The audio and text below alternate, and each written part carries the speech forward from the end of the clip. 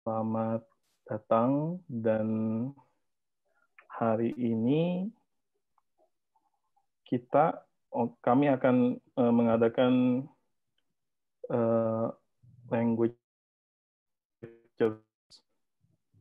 dan hari ini uh, yang akan menjadi bintang tamu hari ini adalah Prof. Wayan Arka dari Australia National University. Tapi sebelumnya saya ingin meminta Bapak Toto Suhardianto selaku Kepala Departemen FIBUI untuk memberikan sepatah dua patah kata sebelum acara kuliah linguistik ini dimulai. Silakan Pak Toto. Terima kasih. Uh, baik, uh, terima kasih Pak Nazar.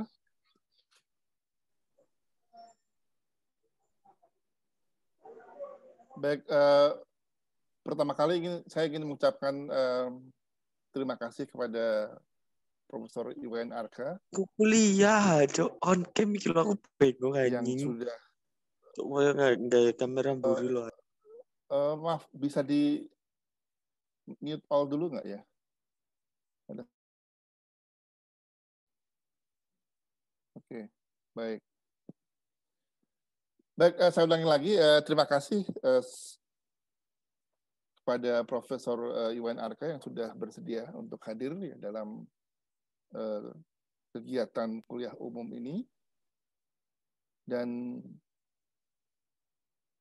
selamat datang saya ucapkan pada seluruh uh, peserta ya, dalam Language and Linguistic Lecture Series. Ya Terima kasih atas kehadiran Bapak, Ibu, teman-teman semua yang berasal dari berbagai wilayah Indonesia, bahkan dari negara jiran. Kuliah ini merupakan rangkaian dari Language and Linguistics uh, Lecture Series yang telah dilangsungkan sejak semester lalu, ya, pada tahun 2020. Kuliah kali Indonesia diaspora Indonesia yang kemuka dalam bidang linguistik uh, typology, ya, yaitu Profesor uh, Iwan Arka. Beliau merupakan profesor uh, linguistik pada School of Culture, History, and Language, uh, College of Asia and the Pacific, Australia National University. Dalam kuliah yang berjudul On the Diversity of Australian Languages, from Socio-Historical Linguistic to Language Typology and Theory, uh, Pak Wayan akan memaparkan selayaknya bahasa-bahasa Austronesia dari aspek keberagaman yang nyata, ya, baik dari segi etnososiolinguistis maupun dari aspek uh, tipologis. Baiklah, saya tidak akan um, mengambil banyak waktu sebelum saya akhiri sambutan ini, sekali lagi saya akan mengucapkan terima kasih pada Pak Wayan atas kesediaan untuk memberikan kuliah umum di Universitas Indonesia. Semoga kuliah uh, ini dapat memberikan pengetahuan baru tentang kondisi keberagaman bahasa-bahasa di negara kita, Indonesia. Kepada semua hadirin, saya ucapkan selamat mengikuti kuliah ini. Saya kembalikan kepada Pak Nazar. Terima kasih.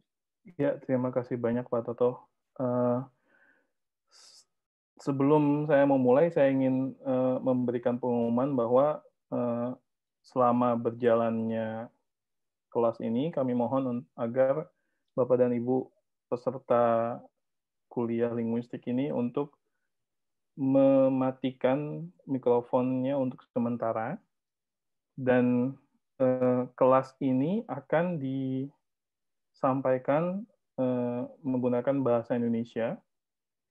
Tapi untuk sesi tanya jawab, Anda bisa bertanya menggunakan bahasa Inggris atau bahasa Indonesia. So, uh, if there's any of you who cannot understand Indonesian or who, who yeah, yeah, that you feel more comfortable to use English, then you can ask in English after the session.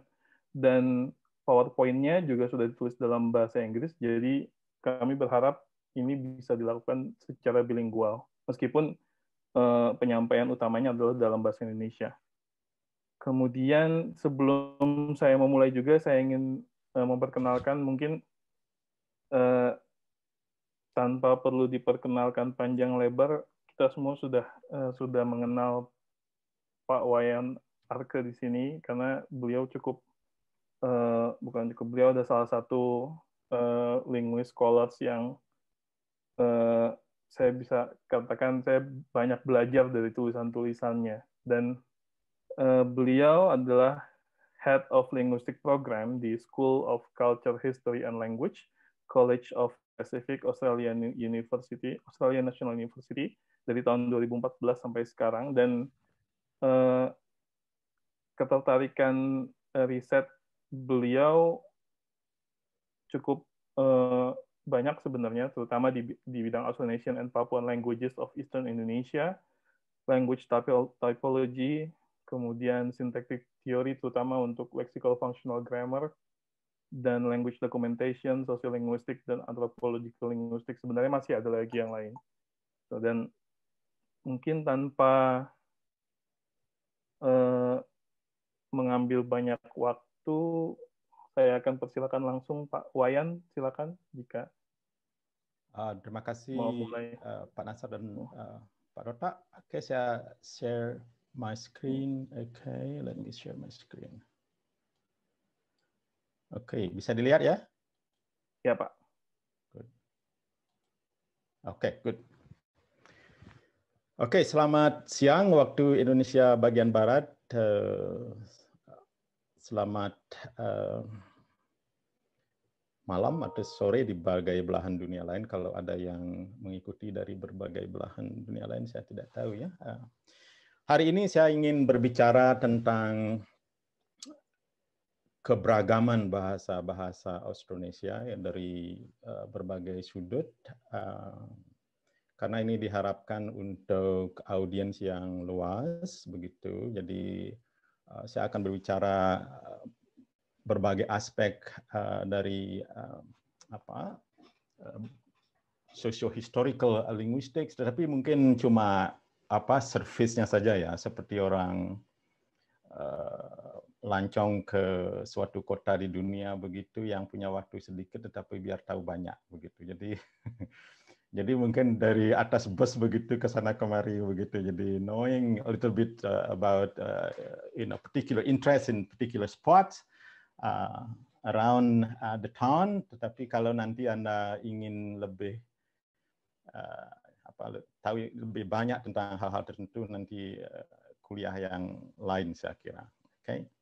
So, um, saya akan berbicara sedikit mengenai uh, background terhadap berbagai isu-isu yang terutama nanti terkait dengan uh, teori dan tipologi bahasa, tetapi sebagai konteks itu kita ingin lihat sebaran uh, geografis bahasa Indonesia dan sedikit sejarahnya, bagaimana itu terkait dengan feature-feature fitur-fitur dari eh, bahasa Indonesia yang menarik untuk dikaji. Harapan saya semoga overview ini memberi Anda eh, background bagi yang sudah tahu mungkin sedikit repetition, tetapi mudah-mudahan nanti di bagian belakangan dari kuliah saya ada hal-hal yang eh, menarik untuk dilihat.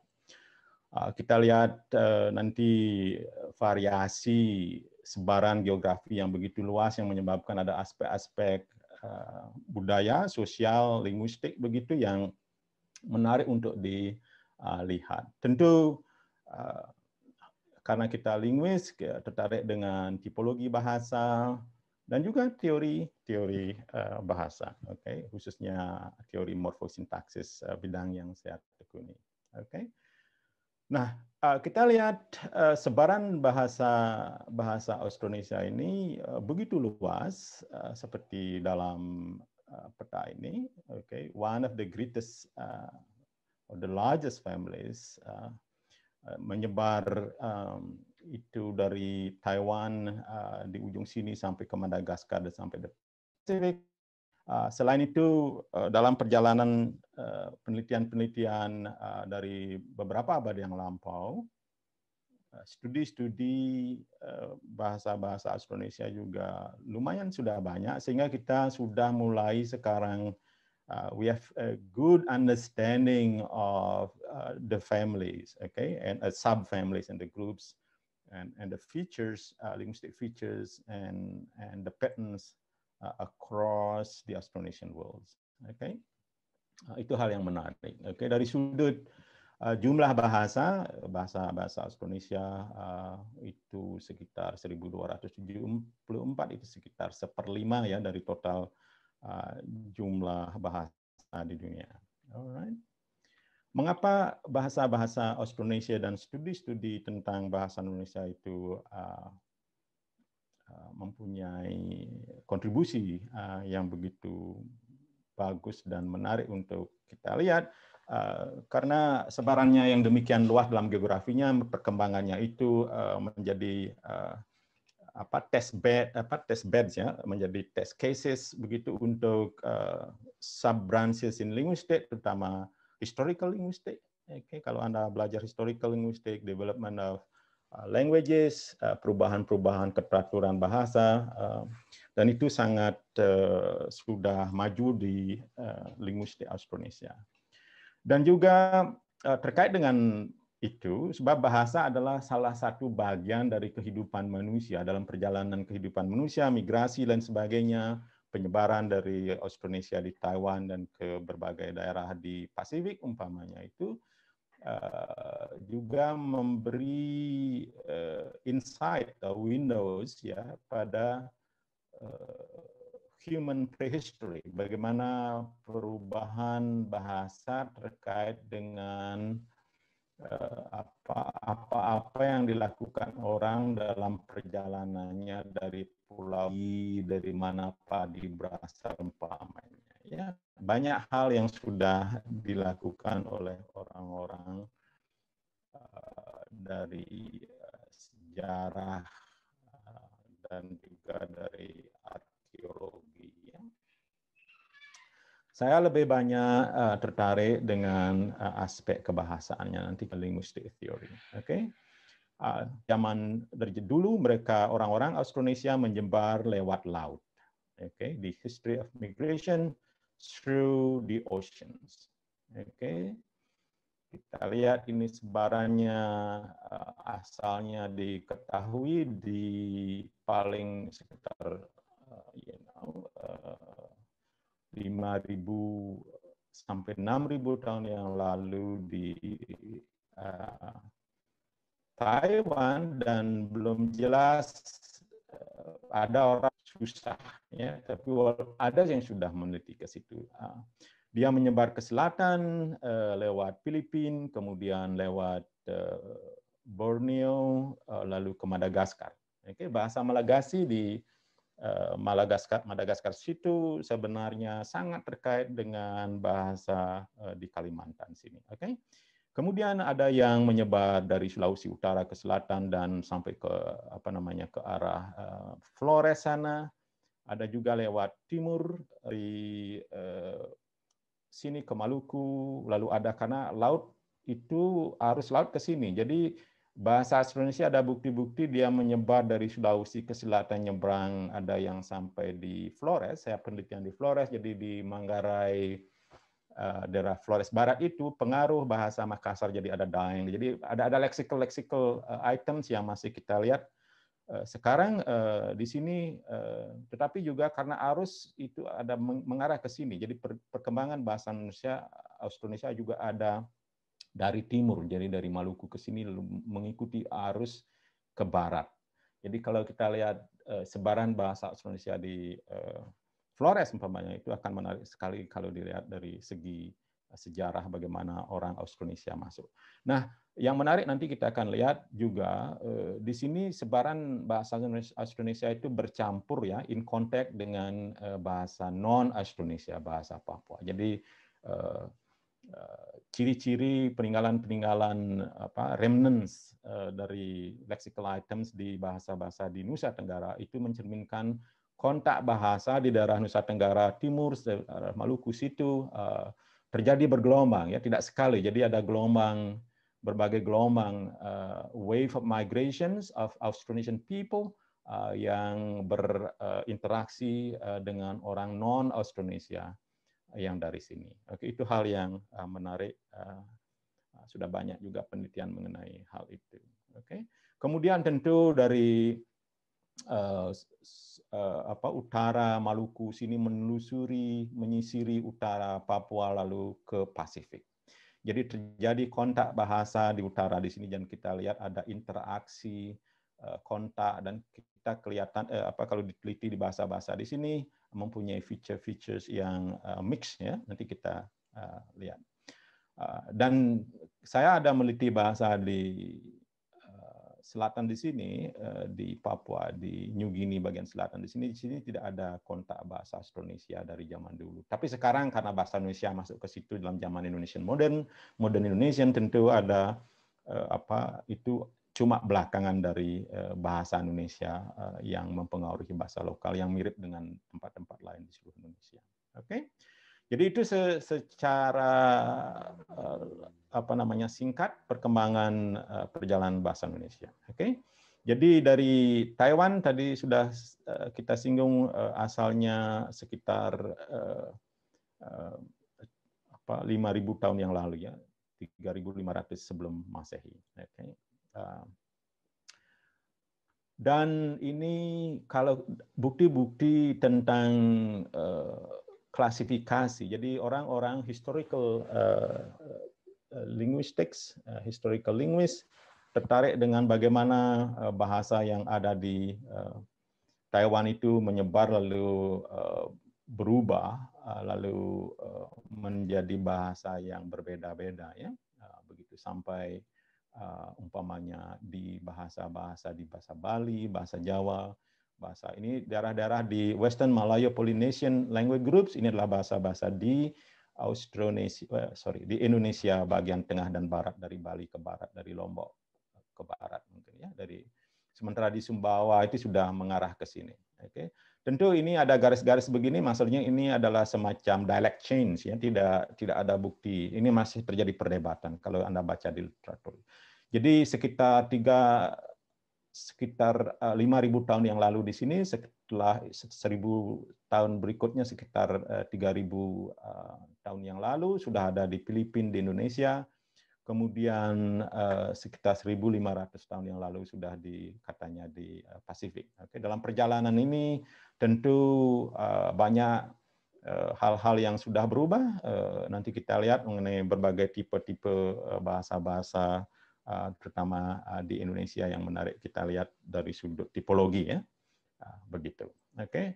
tentu di daerah Pasifik juga terus berubah ada proto-oceanic menyebar sampai di Eastern Eastern Island dan sampai ke umpamanya ke Hawaii juga ya begitu jadi sebaran yang begitu luas menyebabkan variasi yang begitu kaya Okay, so different worlds, different landscapes and societies. Seperti kita lihat tadi dari Taiwan ke selatan Filipina ada pulau-pulau Indonesia juga archipelagonya begitu luas dan dan ada juga Pasifik yang begitu luas menyebabkan uh, bahasa itu mengalami adaptasi seperti kalau Anda belajar mengenai language ecology, ekologi yang berbagi ber, bervariasi berubah-ubah uh, dan beradaptasi menyebabkan bahasa juga berubah ya sesuai dengan ekologinya. Nah, there is a close interaction between language and its ecology. By ecology, I mean not only physical ecology, but also you know cultural ecology dan apalagi kita lihat tadi itu ada kontak antara Papua dan non Papua umpamanya. Dan juga uh, dalam perjalanannya di uh, daerah-daerah umpamanya di Filipina sebelum orang-orang Austronesia datang, Eh, sudah dipikirkan ada orang Negrito umpamanya, ada orang-orang orang asli yang bukan Austronesia, termasuk di, di Flores umpamanya, orang-orang Hobbit yang ada di Flores itu sebelum itu jauh di belakang dan bukti-bukti kebahasaan sekarang eh, sudah sangat susah dilakukan. Orang-orang di arkeologi melihat bukan hanya bukti kebahasaan tapi bukti-bukti eh, tentang hasil budaya keramik dan sebagainya peninggalan begitu. Oke. Tetapi intinya perubahan apa landscape uh, alam itu menyebabkan juga uh, perubahan uh, dalam bahasa Indonesia. Oke, okay? umpamanya kita lihat uh, ini di ini di di anu ini di uh, di Madagaskar. If you have been to Madagascar, saya pernah ke Madagascar diundang uh, keynote speaker tahun 2018 yang lampau. Uh, ternyata di situ juga itu maunya jembatan kalau bahasa Bali jembatan dari apa bambu itu titi namanya.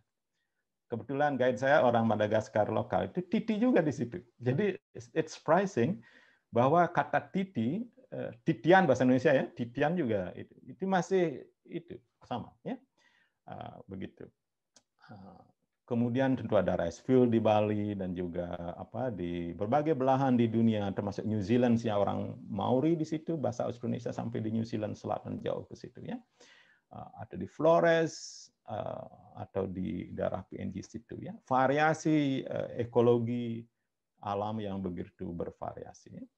Sehingga menjadi apa eh, kalau dilihat dari variasi bagaimana interaksi bahasa dengan ekologi menjadi sangat penting dan menarik untuk dilihat ya.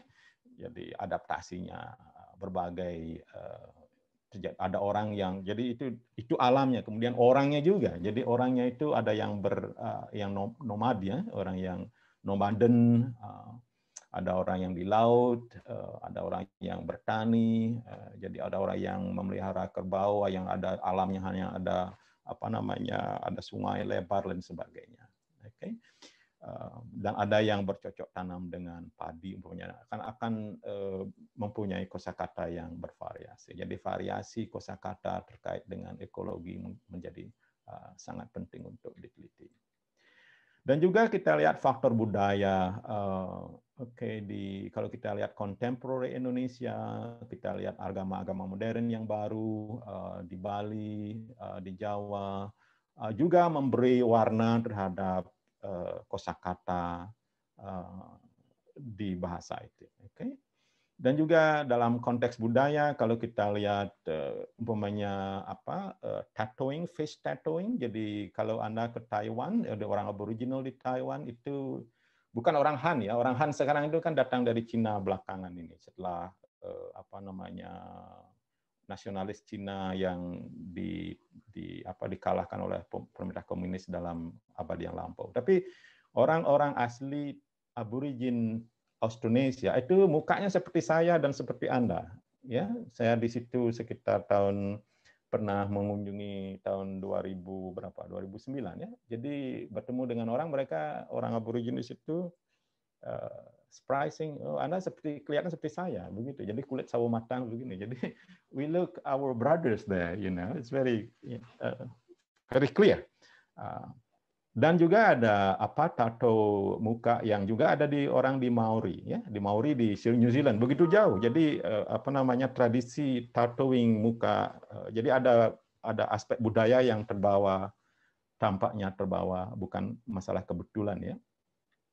Dan juga kalau kita lihat uh, nose kissing, jadi ber apa greeting menyapa dengan cium uh, apa adu hidung ya itu ada di Sumba, okay, di Sumba dan pulau-pulau sekitarnya di Rotel dan sebagainya sampai ke timur situ.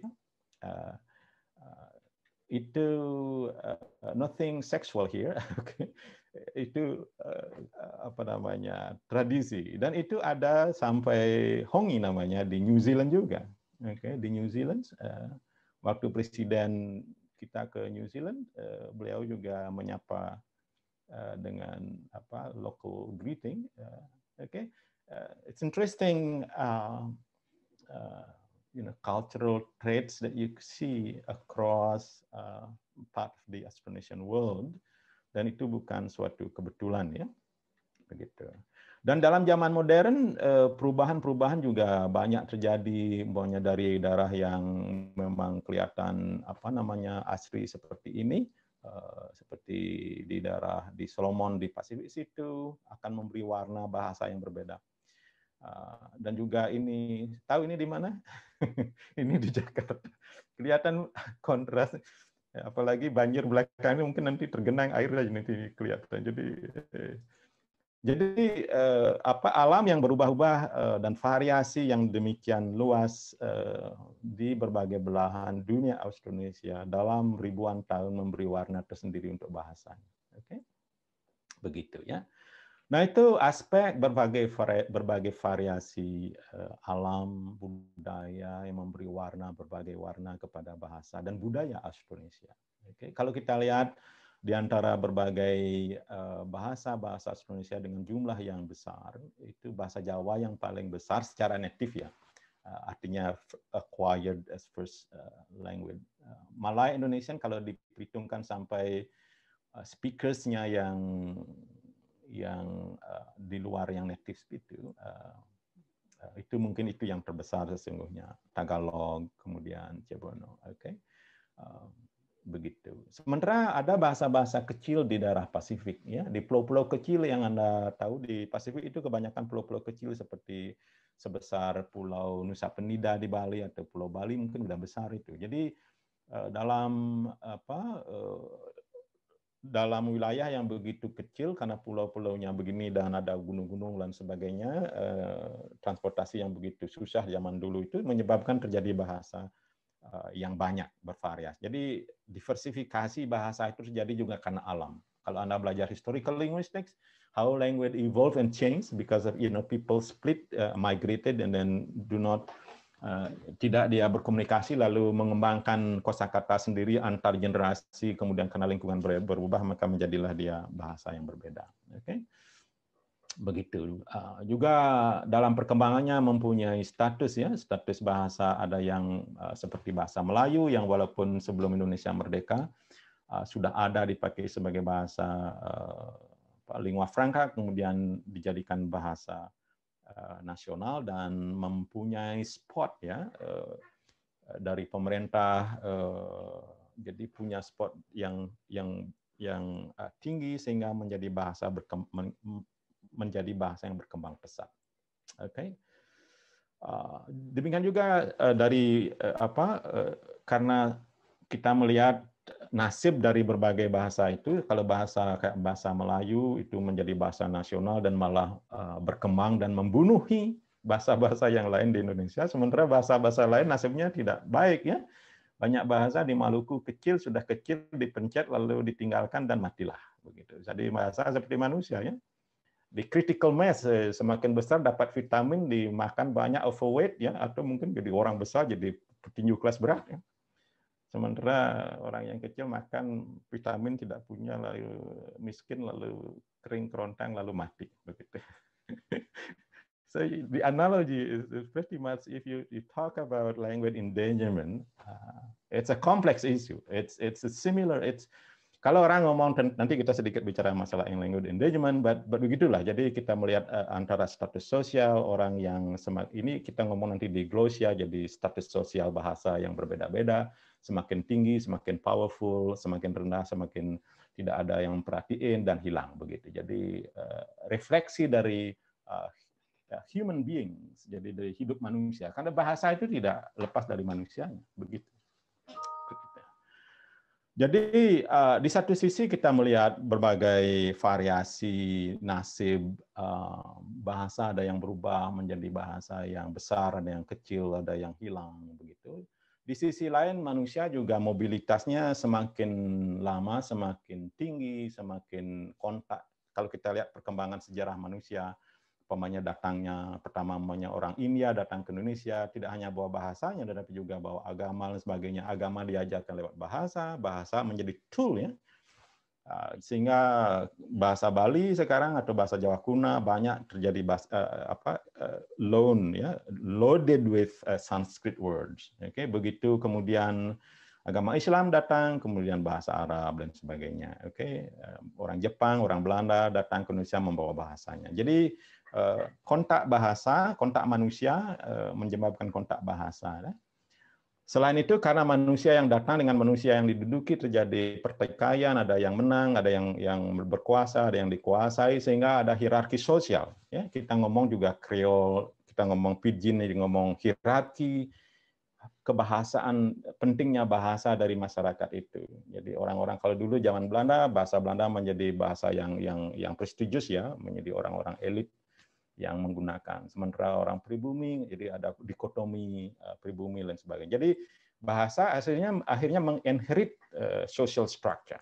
Oke, juga demikian speech level yang ada di bahasa Jawa yang juga menyebar ke Bali dan ke Sasa juga asalnya adalah dari hierarki sosial politik dalam zaman Majapahit dulu. Sebelumnya pada zaman dulu mungkin tidak ada dalam perkembangan bahasa Jawa kuno atau bahasa Bali kuno itu tidak ada speech levelnya. Tapi dalam perkembangannya itu bahasa dipakai untuk simbolik uh, reflecting the hierarchical uh, social structures of the speakers. Okay? Sehingga ada speech level. Sehingga speech level juga tidak hanya ditemui di bahasa eh, di bahasa bahasa Jawa atau bahasa Bali yang eh, apa eh, ada sistem sosial politik yang terinstitusionalisasi begitu ya. Juga ada di daerah Pasifik yang ada kekerajaan dan sebagainya. Oke, di Thailand atau di Korea atau di Jepang. Kita lihat begitu. Itu masuk akal karena memang seperti kita bilang bahasa adalah a tool for communication and also to encode the identity tidak hanya identitas speakersnya yang yang orang biasa, tapi juga identity of the the um, those who have who are in power ya, yang mereka yang ada jadi. Sehingga dalam perkembangannya eh, kita ngomong kembali dalam ini kontak-kontak jadi manusia adalah zamannya ekspansi ya, ingin menguasai tempat lain, menyebar, berdagang, menguasai dan sebagainya. Jadi terjadi kompetisi resources, dan dalam perjalanannya ada kontak bahasa lalu membawa macam-macam terkait dengan bahasa ada umpamanya kayak ortografinya kita ada namanya bahasa Bali ada cara kayak begini itu datang dari India dan mungkin berubah-ubah bentuknya kalau lihat eh, ortografinya masih bisa ditelusuri kembali begitu. Jadi shape dari bahasa itu menjadi seperti genetik juga ya. Manusia kayak saya namanya orang begitu lihat ini orang Bali. Tadi saya datang dari Canberra Center ada orang tua tiba-tiba ngomong kebetulan baju batik ya. Dia ngomong dalam bahasa Indonesia dengan saya Indonesia ya. Begitu. So it's identity. Ini ngomong bukan dia begitu oh ini saya bukan ini speaking Indonesian for in a briefly for five minutes or so with a stranger. So you see identity language uh, you know highly interconnected. Uh, jadi simbol-simbol uh, jadi kalau bahasa Arab nanti huruf-huruf Arab dan dan lain sebagainya. Dia banyak orang akhirnya huruf itu simbolik tidak hanya huruf bahasa itu begitu. Dia mempunyai connected values ya ideologi begitu. Makanya kita ngomong ideologi. Jadi akhirnya ada orang yang sangat fanatik begitu. Seperti agama bahasa juga begitu. Sama dengan teori juga akhirnya begitu. Teori linguistik ada yang Chomskyan begitu fanatik dengan Chomskyan teori. Jadi yang lain rabis begitu. Mine is, is the best begitulah manusia. It's cerminan manusia. It's cerminan manusia di teori dan sebagainya. It's very interesting to see how you know uh, language is a reflection of human nature. Dan itu sangat menarik melihat interkoneksi antara bahasa dan aspek-aspek lain dari manusia. Ya. Dan kita lihat juga loan tidak hanya apa, jadi bahasa seperti kita kalau kontak bahasa terjadi saling pinjam, istilahnya meminjam ya, walaupun tidak pernah dikembalikan ya, jadi loan istilah. begitu dipinjam tidak pernah dikembalikan, jadi manusia juga cenderung begitu, minjamnya aja tapi tidak pernah kembaliin. begitu, jadi terjadi kontak bahasa dan itu menyebabkan kekayaan yang luar biasa. Jadi teori-teori uh, historical linguistik, bagaimana Anda bisa membedakan apakah suatu bahasa adalah descendant dari bahasa yang lain. Jadi kita lihat keteraturan ini, apakah dia hasil kontak dan sebagainya, begitu ya. Jadi dilihat, jadi kekayaan itu dilihat dari kalau orang sekarang kalau physical biology you can check with the genetic jadi di sampelnya begitu. Tapi bahasa kan tidak selalu genetiknya tidak sejalan ya. Kalau dulu oke okay lah sekarang dalam zaman modern tidak begitu. Jadi anak saya umpamanya yang orang genetiknya Bali itu ya, jadi ibunya orang Bali, bapaknya orang Bali, tapi fluent in in, in English, uh, native speakers in English. Jadi jadi genetik sama sama apa bahasa linguistik itu sudah sudah kacau sekarang karena mobilitas yang begitu tinggi. Zaman dulu zaman orang Austronesia orang dari Taiwan untuk datang sampai hampir satu milenia baru nyampe di Bali katakanlah begitu. Jadi memang genetiknya akhirnya begitu. Jadi eh, lama tidak berubah sampai dan dan apa ada keselarasan antara genetika bahasa dengan uh, language development secara historis. Okay? Begitu. Nah, kalau kita lihat ini karena saya ngomong akan banyak nanti supaya jangan terlalu ngalor ngidul, jadi ingin ke teori linguistik lebih uh, dalam sebentar. Jadi kita lihat eh, perubahan-perubahan bahasa dan konteks eh, kontak bahasa uh, menyebabkan uh, multilingual jadi orang ngomong lebih dari satu bahasa dalam konteks seperti di Indonesia sekarang ya. Uh, apalagi kalau kita ngomong zaman modern itu ada apa globalization dan sebagainya. Itu juga aspek yang menarik untuk dari sudut linguistik. Bagaimana bahasa-bahasa yang ada lokal, ada dari dulu namanya indigenous multilingualism ya. Jadi orang-orang dalam zaman Austronesia dulu, orang-orang daerah-daerah di daerah timur, daerah Alor Pantar sebelum zaman zaman gini sudah umpamanya zaman Indonesia ada Indonesia merdeka begitu sudah apa multilingualnya mungkin sudah tinggi. Jadi ada ngomong sudah ada yang pakai bahasa Melayu begitu. Jadi perkembangan Malay gratis across Indonesia terjadi jauh sebelum Indonesia merdeka. Tapi setelah Indonesia merdeka ada lagi bahasa-bahasa yang lain, bahasa Inggris dan sebagainya. Jadi terjadi apa globalization uh, dan terjadi uh, perubahan uh, termasuk di Indonesia yang tidak hanya di Indonesia di berbagai belahan dunia juga termasuk di Australia bahasa Inggris yang membunuhi bahasa bahasa-bahasa lokal begitu. Jadi di Indonesia bahasa-bahasa kecil itu tidak hanya dapat tekanan dari bahasa Indonesia tapi juga dapat tekanan dari bahasa Inggris juga dalam pengertian umpamanya apa orang berpikir mungkin ya uh, uh, secara secara tidak langsung dan kita lihat uh, bagaimana orang-orang minoritas kalau kita ngomong tentang politik bahasa Indonesia dan juga apa otonomi bahasa di Indonesia termasuk mulok dan sebagainya penelitian saya. Jadi eh, dikasih otonomi untuk mulok bahasa lokal, muatan mulok yang diajarkan bahasa Inggris begitu. Banyak itu di Flores dan eh, dan di daerah-daerah lain itu mengajarkan eh, untuk muatan muloknya apa bahasa Inggris, muatan lokal begitu. Jadi globalization ya intinya begitu. Um, kita ngomong sedikit aspek dari globalization dan uh, perkembangan dunia modern sekarang di Indonesia. Itu kita lihat kalau di Indonesia, uh, kalau proporsi dari bahasa non Austronesia dan Austronesia, Austronesia lebih banyak ya, 64 persen, sementara bahasa Papua itu sekitar 36 persen. Kemudian kalau kita lihat eh, bahasa-bahasa di Indonesia yang um, penuturnya sekitar 1000 orang ke bawah itu sekitar 34 persen. Tapi ini estimate ya, jadi kita ngomong estimate eh, dan mungkin sudah ada yang meneliti lebih banyak, lebih persis juga. Tapi inti yang ingin saya sampaikan bahwa kalau kita lihat seperti kita bilang tadi itu bahasa yang kecil penuturnya sedikit begitu dia vulnerable ya. Dia under pressure. Critical mass-nya sudah kecil dan kemungkinan besar sangat Eh, mungkin uh, ditinggalkan penuturnya atau marginalize begitu. Kecuali ada hal-hal tertentu yang menyebabkan dia uh, strong juga, highly vital. Nanti kita ngomong sedikit mengenai lolon Malay yang uh, di Bali Barat yang yang yang aneh begitu, yang tidak seperti yang saya bayangkan. Jadi kecenderungan tren di dunia itu bahasa yang kecil itu kalau dia under pressure oleh oleh apa bahasa nasionalnya kayak di Indonesia ini bahasa Indonesia atau di di Australia oleh bahasa Inggris kecenderungan dia akan uh, marginalized dan kemudian uh, hilang ya. Tetapi itu tidak selalu begitu. Oke, okay, nanti kita lihat sebentarnya. Um, kita tadi ngomong sedikit tentang uh, kontak bahasa ya. Kontak bahasa ekologi bahasa yang sudah kita omong tadi itu tentang uh, hubungan antara bahasa dengan ekologinya. Tetapi yang saya bilang sekarang ini adalah ekologi tidak hanya ekologi fisik alam tetapi juga ekologi yang lebih luas ya, socio cultural ecology. Kemudian terjadi language contact. Bahasa terjadi kontak bahasa dalam konteks language ekologi yang yang demikian contoh yang paling bagus ini di Indonesia ya jadi begitu kompleksnya uh, language ekologinya ini. Uh, tentu juga dalam perjalanan Indonesian modern kita melihat tentang language management, language planning. Gencar-gencarnya dulu pada saat zaman Soeharto, oke, okay, di mana masih ada nation building. Sekarang juga proses nation building masih masih berlangsung karena dari sudut kepentingan politik ya.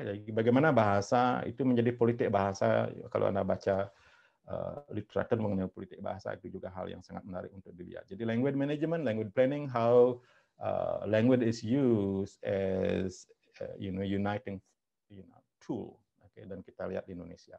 Itu terkait juga dengan bilingualism, multilingualism uh, diglosia. Jadi riset mengenai bagaimana akhirnya bahasa itu dalam konteks karena interferensi politis itu kayak bahasa Indonesia menjadi bahasa yang uh, powerful ya, menjadi bahasa yang harus dikuasai di Indonesia kalau Anda ingin uh, lulus mendapat gelar begitu harus lulus bahasa Indonesia sampai yang yang bagus karena nulisnya harus bagus, ejaannya juga harus bagus, tidak boleh sembarang ya.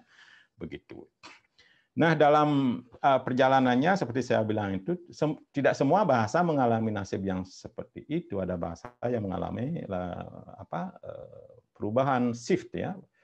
Orang tua tidak lagi mengajarkan kepada anaknya, lalu lama-lama anaknya juga tidak mengajarkan kepada anaknya, cucunya menjadi tidak begitu menguasai dan akhirnya bahasa itu hilang begitu ya.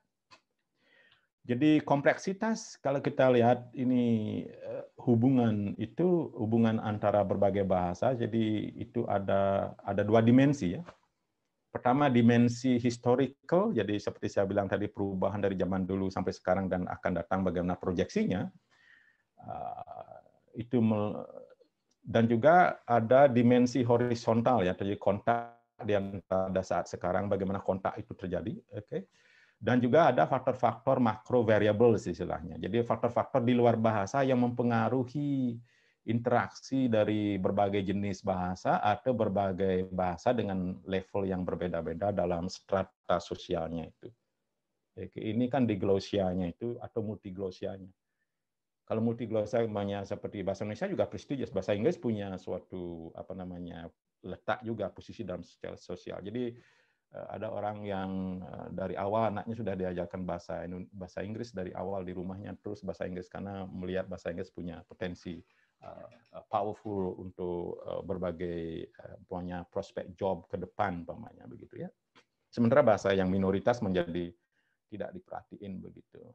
Dan ini terkait dengan kompleks uh, kom, you know, makro variable yang sangat kompleks baik itu politis uh, maupun juga faktor topik dalam uh, linguistik atau sosiolinguistik. Uh, saya latih saja ini, oke, okay. um, tentang perdebatan Indonesia sejauh mana tarik ulur sama dengan dalam titik sejauh mana Indonesia mesti decentralized atau dikasih otonomi. It's a big uh, delicate issues in the context of Indonesia. Okay dan itu masuk dalam kalau bahasa dicantelkan ke situ menjadi rumit juga begitu. Sejauh mana itu uh, apa bermanfaat dan sejauh mana itu tidak bermanfaat itu hal yang yang sangat rumitnya dari sudut kalau ditinjau dari berbagai sudut. Tetapi yang dari sudut uh, yang ingin kita lihat itu dari sudut linguistik ya, linguistik bagaimana hal demikian menyebabkan terjadinya uh, uh, apa ketidak apa ketidakseimbangan di antara domain-domain bahasa pada saat dia bahasa itu kontak satu sama lain speakersnya kontak satu sama lain terjadi shift bagaimana shift itu terjadi bagaimana kita uh, bisa menolong. Dalam zaman sekarang saya ada penelitian mengenai dokumentasi bahasa tidak hanya mendokumentasikan bahasa, dokumentasi bahasa kan bagian dari proses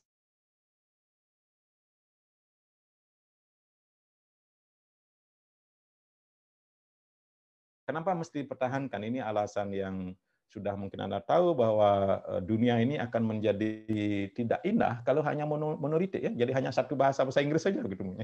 Atau di Indonesia hanya bahasa Indonesia saja, tidak indah itu. Jadi semakin banyak kita mesti apa kalau pemandangan itu tuh biar indah begitu. Jadi begitu. Itu satu dari segi. Di sisi lain juga bahasa yang sudah sekian lama itu kalau kita lihat menjadi objek kajian humanity ya, research in humanities. Bahasa itu kan alat yang di yang yang yang apa seperti saya bilang tadi itu simbolik jadi informasi yang dibawa itu berbagai macam hal ya. Jadi uh, bahasa menjadi bagian dari umpamanya kalau apa uh, uh, terkait dengan uh, pengetahuan uh, leluhur kita mengenai pengobatan dan sebagainya. Walaupun tidak masih digunakan uh, berkompetisi, tapi sebagai bagian dari uh, apa namanya kekayaan keilmuan apa pun itu uh, itu menjadi sangat penting dan menjadi kajian yang sangat penting uh, dilihat demikian. Um, uh, language shift uh, adalah salah satu topik besar di linguistik. Um, karena uh, mengapa terjadi language shift? Itu juga sangat menarik bisa relevan dengan linguistik. Seperti saya bilang relevan dengan politik atau kombinasi interdisciplinary language and politics, language and power umpamanya. Kalau Anda tertarik dengan hal yang demikian, jadi melihat language and power and the shift uh, itu terkait dengan uh, kontak juga, terkait dengan balance power dan komposisi masyarakat dan sebagainya di Indonesia umpamanya. Ya, orang Jawa begitu populasinya begitu banyak, bagi powernya menjadi tinggi begitu. Bahasa Jawa mendominasi. Ya kan? Kalau Anda pergi ke Merauke di daerah Eh, pedalaman di Papua Selatan itu daerah transmigrasi transmigrasi situ ada ada uh, kampung orang asli Papua anak-anaknya belajar bahasa Jawa bahasa Jawanya lebih lancar ketimbang bahasa bahasa lokalnya. Karena didominasi kampungnya di situ oleh orang Jawa. Uh, dan orang Jawa sangat fanatik dengan bahasa Jawanya. Begitu. Dan itulah begitu. Jadi eh, coba bayangkan. That's the, the reality. Uh, tapi itu topik yang yang lain. Tapi saya cuma ingin menggambarkan language begitu hubungan power, uh, critical mass speakers, and, and seberapa fanatik Anda dengar bahasa Anda, seberapa banyak Anda ngumpul dengan dengan teman-teman Anda. Jadi kalau satu kampung transmigranya orang Jawa, itu kan istilahnya Jamer ya, Jawa Merauke ya.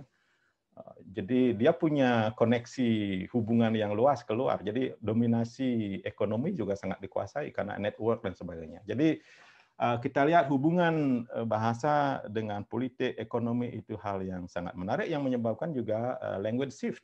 Jadi orang bisa anak-anak bisa shift ke bahasa yang lebih dominan secara ekonomi atau secara power seperti yang dibilang tadi. Sehingga kita ngomong tentang language vitality. Jadi saya kira kalau ada saudara-saudara yang bekerja di badan bahasa, ini objek yang mereka sudah memiliki banyak. Uh, saya hanya komentar sedikit mengenai uh, language vitality uh, adalah uh, vitalitas ya, vital, penting ya. Bagaimana bahasa itu dianggap menjadi penting atau menjadi powerful atau menjadi vital bagi komunitasnya, speech community-nya. Yang lebih tepat mungkin linguistik et, apa etnolinguistik vitality. Budaya yang jadi speech community-nya itu menganggap bahasanya menjadi sesuatu yang vital yang berharga untuk dipertahankan. Begitu jadi vitalitas bahasa tidak vakum ya sebenarnya vitalitas etnolinguistiknya itu etnonya orangnya kelompoknya bukan bahasanya. Bahasa itu kan serving the, the vitality bahasa Inggris menjadi powerful kan karena orang-orang Inggrisnya yang dulu.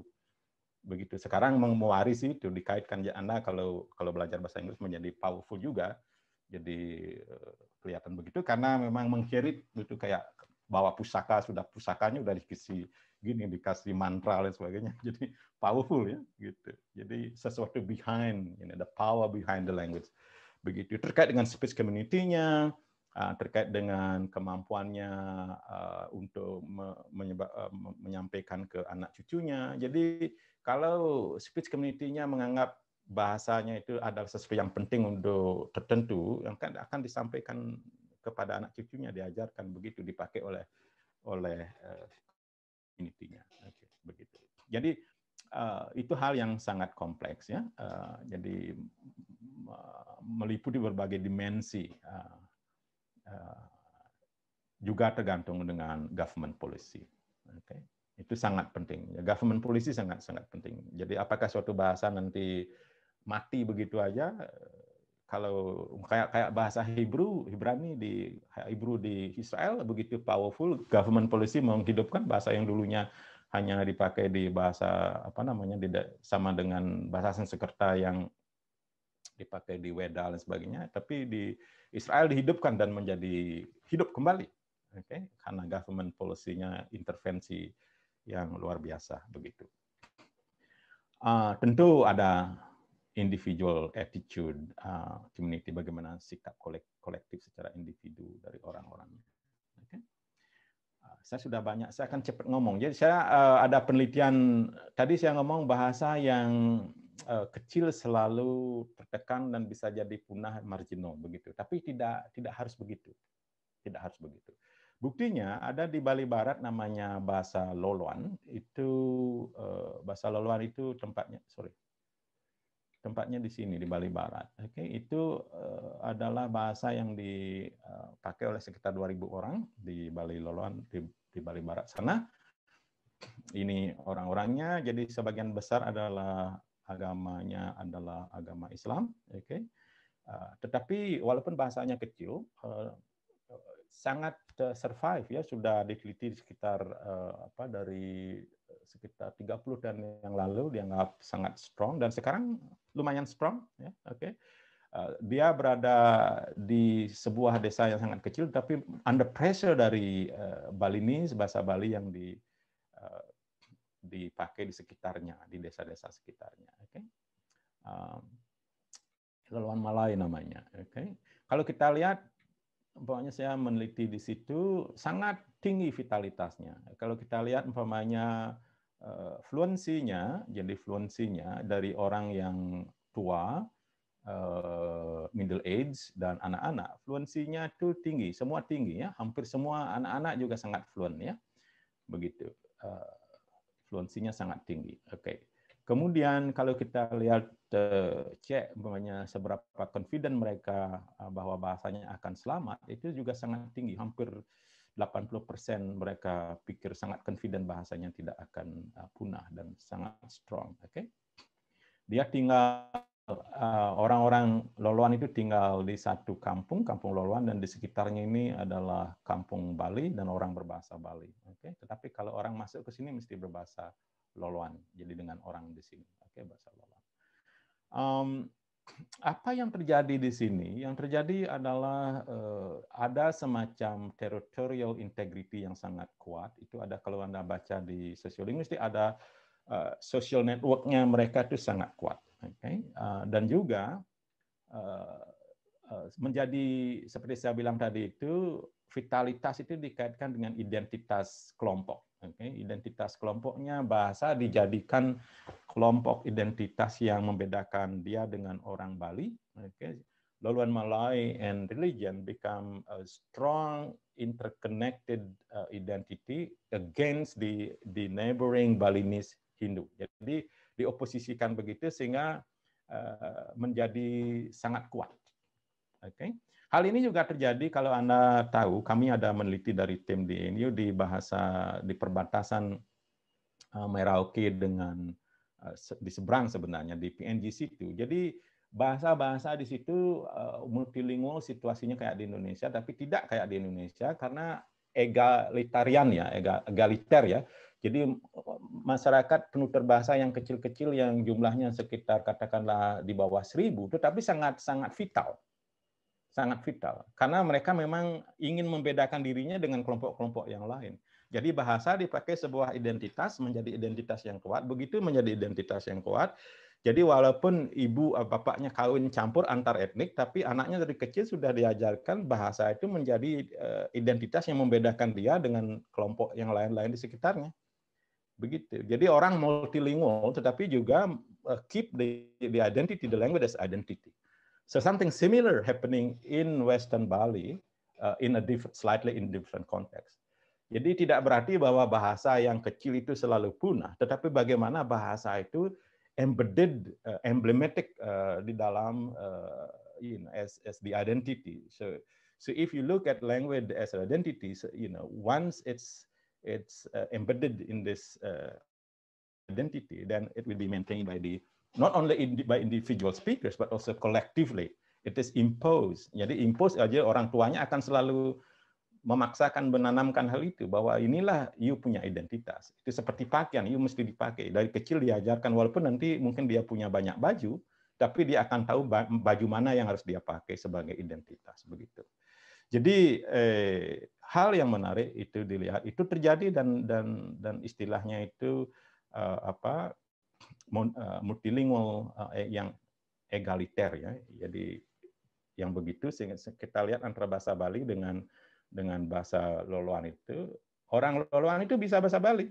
Orang-orang di Bali sekitarnya bisa juga bahasa Loloan begitu, walaupun tidak gini, tidak se Tetapi hal yang menarik juga mungkin karena bahasa Loloan terkait dengan Malay eh, yang tidak totally different, tapi ada feature-feature tertentu yang dipakai sebagai identitas begitu ya. Kemudian saya juga ada meneliti sekarang ada proyek sedang berjalan di Enggano. Enggano itu pulau kecil di Bengkulu situ uh, di Samudra Hindia. Kalau ke situ itu satu malam naik perahu. Naik bukan naik boat ya. Jadi kalau uh, it's very very risky uh, begitu. Kalau gelombangnya boatnya tidak mau tidak mau berangkat begitu. Nanti kalau nanti kalau Eh, apa mau balik itu mesti kita punya waktu yang banyak kalau ke lapangan begitu. Kalau waktunya sedikit susah. Ya. Jadi saya ada meneliti di uh, Enggano. Uh, Enggano juga seperti Loluan, bahasa Loluan, penduduknya sekitar 1.500 orang yang speakersnya begitu yang yang aktif ya. Tetapi situasi sangat berbeda. Kita lihat Eh, sekarang ini terjadi uh, inter apa intergenerational transmissionnya sangat rendah dan uh, anak-anak sudah tidak lagi memakai bahasa Enggano. Oke, okay? berbeda sekali. Okay? Dan uh, kalau kita lihat itu uh, ini Pulau Enggano di, di dekat. Sebenarnya uh, Enggano itu eh, yang ada di sini di Enggano Tengah ini di Meok namanya uh, itu yang konservatif yang masih dipertahankan. Tetapi sebagian besar di selatan dan utara ini sudah banyak daerah transmigran ini ya orang-orang Jawa Barat di situ ada orang Bugis juga ada orang-orang luar Enggano uh, yang krip dan dan menyebabkan di sini sudah hampir punah ya begitu dan di sekitar sini sudah transisi dan ini tidak tidak ada orang di sini. Jadi situasi sangat berbeda dan ini memang memberi tren seperti yang kita harapkan di berbagai belahan dunia lain sebahasa kecil yang kena tekanan dan ada migrasi orang datang ada kontak bahasa dan dan akhirnya orang lokal meninggalkan bahasanya begitu. Uh, itu terjadi di uh, Enggano situ. Oke.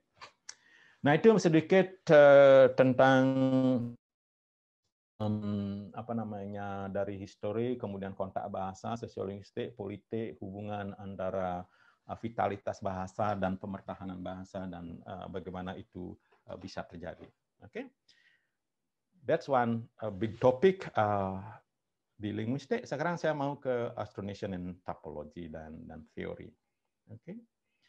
Uh, kita seperti saya bilang tadi itu uh, bahasa Indonesia kalau kita lihat di Filipina, uh, Madagaskar, Indonesia yang bervariasi begitu sampai ke timur. Uh, Papua dan Pasifik ya begitu variasinya begitu banyak. Tetapi juga ada similaritiesnya yang menyebabkan orang tahu bahwa ini Austronesia begitu. Seperti orang ini orang Austronesia. Kalau you ke Taiwan ke daerah aborigin di Taiwan Tengah, oh ini orang Austronesia karena Austronesian traits-nya begitu kental begitu. Tetapi ada juga variasi begitu. Nah, ini menjadi eh, menarik untuk dilihat dari sudut tipologi. Ya, orang tipologi melihat variasi eh, dan perbedaan dan juga teoritis begitu. Ling, ling, linguistic theory, uh, language theory or linguistic theory try to to test uh, to predict uh, the the limit of possible language. Ya. Bagaimana limitnya mana bahasa yang possible, mana yang tidak possible. Okay? Itu di satu sisi di teori. Orang tipologi juga ngomong begitu, cuma dia tidak berteori banyak, yang cuma melihat ditipe-tipekan begitu dikasih tipe tipe A, tipe B, tipe C dan sebagainya dan tidak berusaha untuk melihat mengejar ke ke predictive uh, power predictive analysis, oke? Okay? Begitu bedanya. Tetapi sebenarnya itu dua hal yang yang seperti saya bilang uh, apa uh, orang bilang uh, two sides of the same coin in a way, oke? Okay? Kalau saya sendiri saya senang juga tipologi dan juga teoritis karena membantu ya. Kalau you punya teori yang kuat akan mudah melihat variasi dan perbedaan dan menganalisisnya begitu. Sebaliknya juga eh, dengan tipologi yang bagus, you punya database, you punya eh, apa kekayaan variasi eh, apa ada yang yang uh, yang memungkinkan you uh, testing your theory, oke? Okay? Begitu. Jadi uh, seperti saya bilang sangat luas variasi daerah sebarannya terjadi kontak uh, begitu sehingga topologically very diverse in non-random ways. Jadi tidak random. Ada prinsip-prinsip kenapa dia berubah dan kita lihat kalau kita tahu apa kenapa bahasa mana yang ada kontaknya bagaimana itu begitu. Jadi ada sesuatu yang bisa ditarik atau dites mengenai uh, uh, teori-teori Anda tentang kebahasaan begitu ya. Jadi uh, ini kalau lihat ini kalau Anda tahu ini orang mana ini? Anda bisa tahu kah? Bisa tebak orang mana ini? Ada yang mau tebak? Papua mungkin, Pak? Orang Flores. Flores. Oh. Iya. Kalau ini orang Papua. Begitu ya. Jadi jadi mirip. Jadi jadi secara genetik seperti kita omong tadi itu, jadi ada genetik Melanesia ke barat nyebar dari Papua ke barat sampai di Papua. Jadi orang di Manggarai itu masih variasinya ada yang kulitnya putih kayak kita orang orang Indonesia bagian barat. Ada yang rambutnya keriting, kalau ke arah timur di, di Flores, Flores ke arah timur sudah ada yang rambutnya keriting, ibu-ibu yang kulitnya menghitam dan sebagainya begitu. Uh, uh, jadi ada kombinasi kontak-kontak. Jadi ini uh, apa refleksi dari biological context zaman lampau. Bahasanya juga begitu. Kalau kita lihat namanya ada lexikalnya, ada affixnya, ada morfologinya, ada macam-macam ada yang kontak-kontak kalau kita lihat, oke? Okay? Dan kontak itu terjadi di di di, di pesisir utara eh, pesisir utara Papua karena bahasa Indonesia kan menyebar ke sini dia di, di pesisir utara ini menyusuri pantai ini ke lalu ke Pasifik. Dan juga seperti saya bilang itu ada ke selatan bahasa Austronesia di sini di Maluku lalu mengikuti arus ke barat kemudian. Jadi alor pantar dan sebagainya di situ. Dan di sini kan migrasinya ini sebelum orang orang eh, apa orang Austronesia ke sini menyebar ke sini. Arusnya ini kan sudah terjadi jauh sebelumnya. Orang Papua juga bergelombang menyebar ke barat. Jadi terjadi apa uh, wave of migration ke ke arah barat bersamaan dengan itu genetik orang juga begitu campur-campur campur-campur. You lihat nanti kecampurannya begitu ya. Eh, penelitian-penelitian juga begitu eh, secara linguistik eh, memperlihatkan apa past histories of contact di situ. Nah, kalau kita lihat, coba ini contoh lihat aja. Jadi kita lihat inclusivity. Inclusivity itu adalah feature dalam linguistik, terutama pronominal, tentang bahasa Indonesia seperti kita lihat uh, the first person inklusif kayak uh, kita dan kami ya. Kalau kita itu inklusif, you ikut. Oke. Okay. Kalau kami you tidak ikut eksklusif artinya. Oke. Okay. Uh, kita dan kami. Kalau kita lihat itu sebarannya itu sangat luas. Dia terjadi dari Austronesia di Papua, sorry, di Taiwan sampai ke daerah Pasifik. hanya sedikit aja yang hilang ya hanya sedikit aja yang hilang. Dan juga kita lihat kalau dia menyebar sampai di Papua situ berkombinasi, itu adalah feature Austronesia. Ya. Lalu terjadi, eh, seperti saya bilang tadi itu, ada kontak dengan bahasa Papua, eh, sehingga terjadi apa kalau kontak lalu ada istilahnya ada super straight. Super straight itu kalau kalau ada dog pisin itu semacam Creole, Creole itu dog pisin pidgin ya yang yang diacquire oleh penuturnya menjadi apa bahasa ibu begitu. Lalu super streetnya itu adalah bahasa yang level atasan. Kayak bahasa Inggris menjadi super street dari dog pisin itu. Begitu. Super street. Jadi tetapi dia base-nya bahasa Austronesia jadi bahasa Papua begitu. Sehingga Lalu kalau kita lihat bahasa Austronesia itu kan ada kitan kami, bahasa Indonesia umpamanya itu sudah ada di dari zaman proto dari bahasa Austronesia di eh, Taiwan. Apa yang terjadi kalau dia kontak di top pisin, you me, you and me, you you and me itu inklusif ya, we. Sama itu ekuivalen dengan kita, you and me. Cuma menggunakan you and you to you bahasa Inggris, me me saya. Oke, okay? me me bahasa Inggris, you me Jadi you and me. So, so the, the concept is borrowed, but then the lexical item you use this English you and me, but to, to encode the same concept. Okay. And then me pela, me, I, pe, pela comes from fellow, fellow others, you know, me pela. Okay. Mipela. So the opposition of you, me, and Mipela itu sama dengan kita dan kami. Okay. So you have this uh, similar inclusivity distinction uh, in Austronesian, but then you know you, you you take that from the super straight of English talking, and then and then you say you, me, and Mipela. itu menarik. Jadi Tok Christian said this is very interesting. Uh, why you you have this one? Okay. Uh, so you can read the the theory on on Creole formation. Maunya kayak di sini, you bisa lihat maunya uh, humus clock. Uh, bisa ditebak ini humus clock. How much? How, yeah, much? how much clock? Ya. Yeah. So this is clock, what time? Clock, clock, clock is clock, clock, uh. clock waktu ya. Jam berapa? Humus humus clock. how much? clock. Oke, okay. ini Emmy drink uh, plenty whiskey. Okay, M. Uh, M I. M him. He he dia dia. Oh him. Uh, him. He is ya yeah. drink ya yeah, hmm. drink minum. Plenty a lot. Plenty ya yeah. ini menarik ya. Ya. Uh, dia minum dia minum banyak whiskey. Okay. Hmm. Ya. Yeah. So Mipela no looking dog belong you.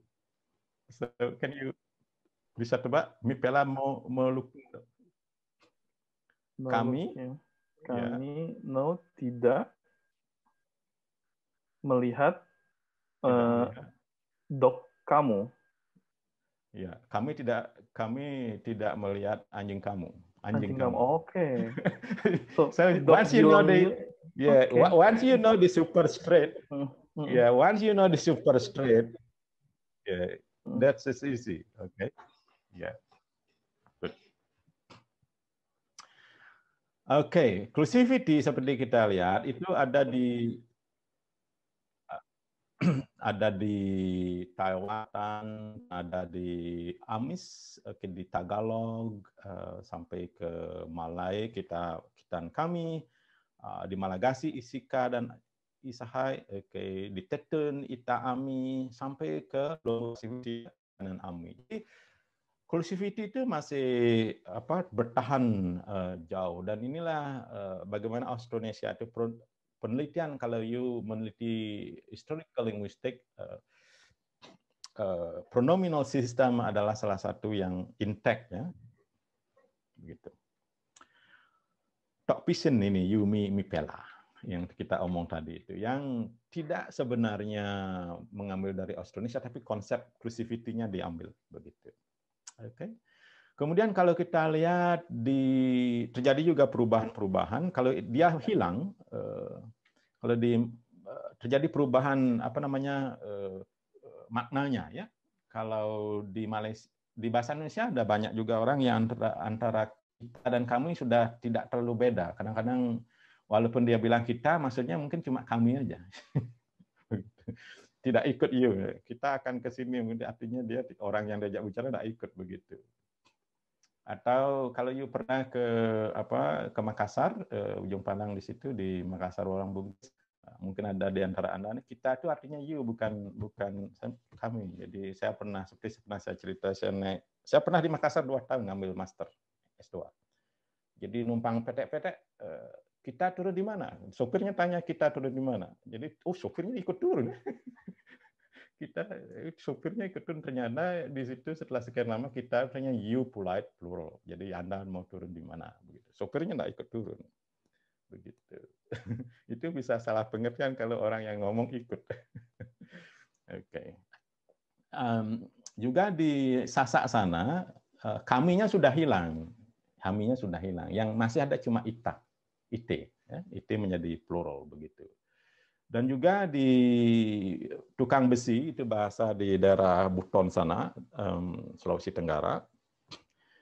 Kami dan kitanya uh, sudah menjadi apa namanya plural untuk first person aja, inklusif inclusivity-nya hilang. Kami itu menjadi vocal. Vocal itu artinya kami beberapa, sementara kita itu kami banyak begitu jadi eh, berubah. Ya.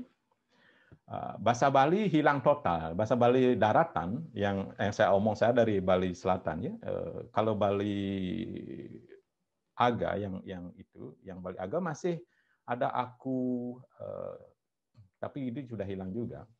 Uh, begitu. Bahasa Bali daratan yang saya omong sudah hilang. Kalau ini Bali Age yang ada di pegunungan di Bali Bali Tengah situ itu masih seperti bahasa Indonesia ada ku, ada ko, ada oke, okay? ada ada Austronesianya seperti bahasa Indonesia. Bahasa Indonesia aku, ko itu kan uh, kau itu kan Austronesia. Okay? Begitu. Um, jadi uh, ada perubahan uh, dari berbagai uh, bahasa kita lihat dan juga ada pola-polanya. Kalau dia hilang, yang hilang itu yang yang inklusifnya hilang. Oke, okay, eksklusifnya masih. Okay? Uh, inklusifnya yang di the inclusive member is the prime that shall retain as a general person. Oke, okay. formnya yang dipakai ita itu ya, kaminya yang hilang. Sementara di bahasa ada juga yang parsial. Kalau dilihat di daerah Pasifik ada yang yang yang hilang juga, tetapi ada parsial, ada opsional seperti ini. Ada yang atam begitu, kemudian angtang begitu, lalu angnya ini hilang eh, secara opsional jadi menjadi sama ya jadi tam ini menjadi sama begitu. Jadi ada berbagai perubahan kalau kita lihat morfologi sebagai bukti perubahan bahasa itu menjadi sangat penting melihat spread dari berbagai bahasa begitu. Kita masih berapa punya waktunya Pak Pak Nasar? Oke. Enggak tahu ya. Lagi 20 menit barangkali. 20 menit kah? Untuk ngomong untuk 10 sampai 15 menit, Pak. Bagaimana?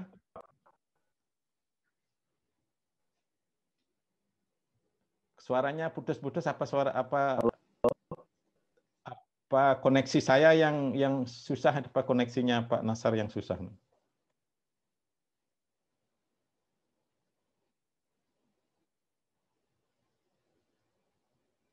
Halo?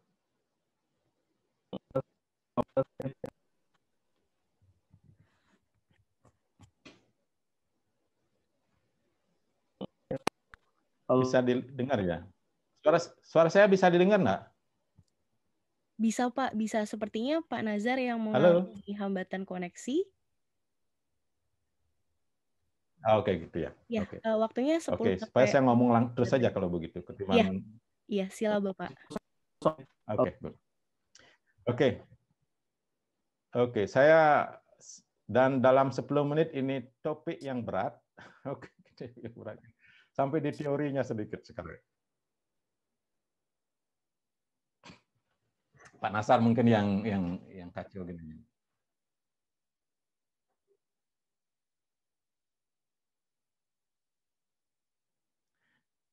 Oke.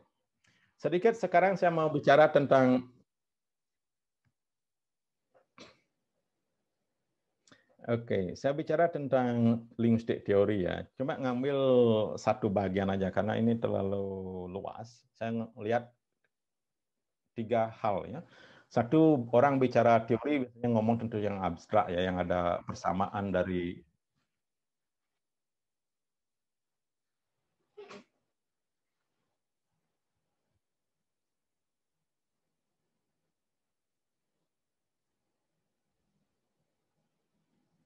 Hmm.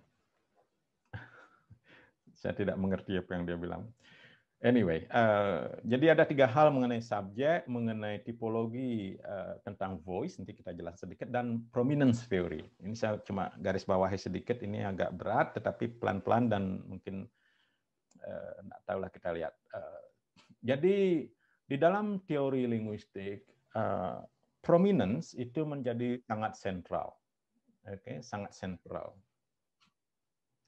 Eh, yang dimaksud dengan prominence itu uh, ada uh, kalau kita lihat itu seperti dalam kehidupan manusia, dalam politik apa pun selalu ada prominence, satu hal yang menonjol dan paling tinggi dan punya punya apa namanya tempat yang strategis dan penting begitu ya.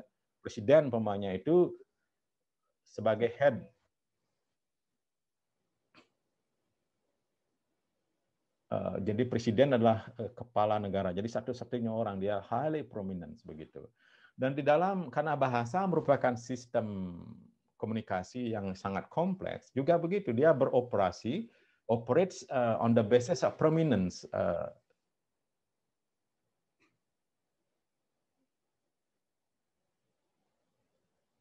kayaknya ada masalah itu. Siapa yang mau bicara itu? Hmm. Saya lanjut aja.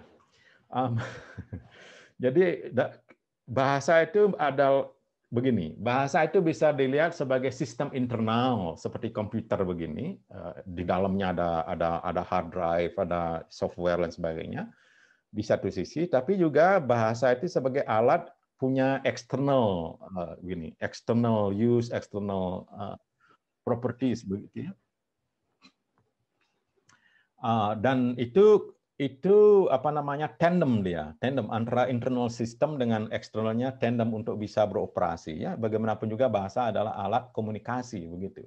Dan dan prominence itu menjadi sangat penting dalam operasi sistem bahasa itu. Dalam teori linguistik, eh, orang akan selalu eh, menggunakan prominence ini untuk eh, sebagai alat untuk menjelaskan fenomena bahasa. Itu bisa dilihat umpamanya dengan menggunakan diagram pohon seperti ini. Oke, yang paling tinggi ini yang paling prominent, sebenarnya kalimat itu adalah sistem yang paling tinggi, katakanlah tinggi dalam sintaksis ya.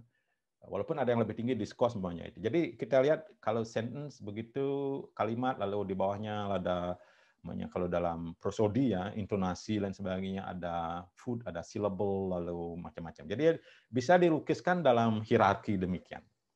Atau kalau di building itu juga begitu. Jadi konstruksi building ada yang prominent, ada towernya, begitu ada ini. Jadi konstruksi sistem bangunan atau apa negara atau apa politik apa pun selalu ada prominence begitu. Dan hal demikian juga dipakai di linguistik untuk analisis linguistik kalau Anda lihat nanti kita lihat begitu.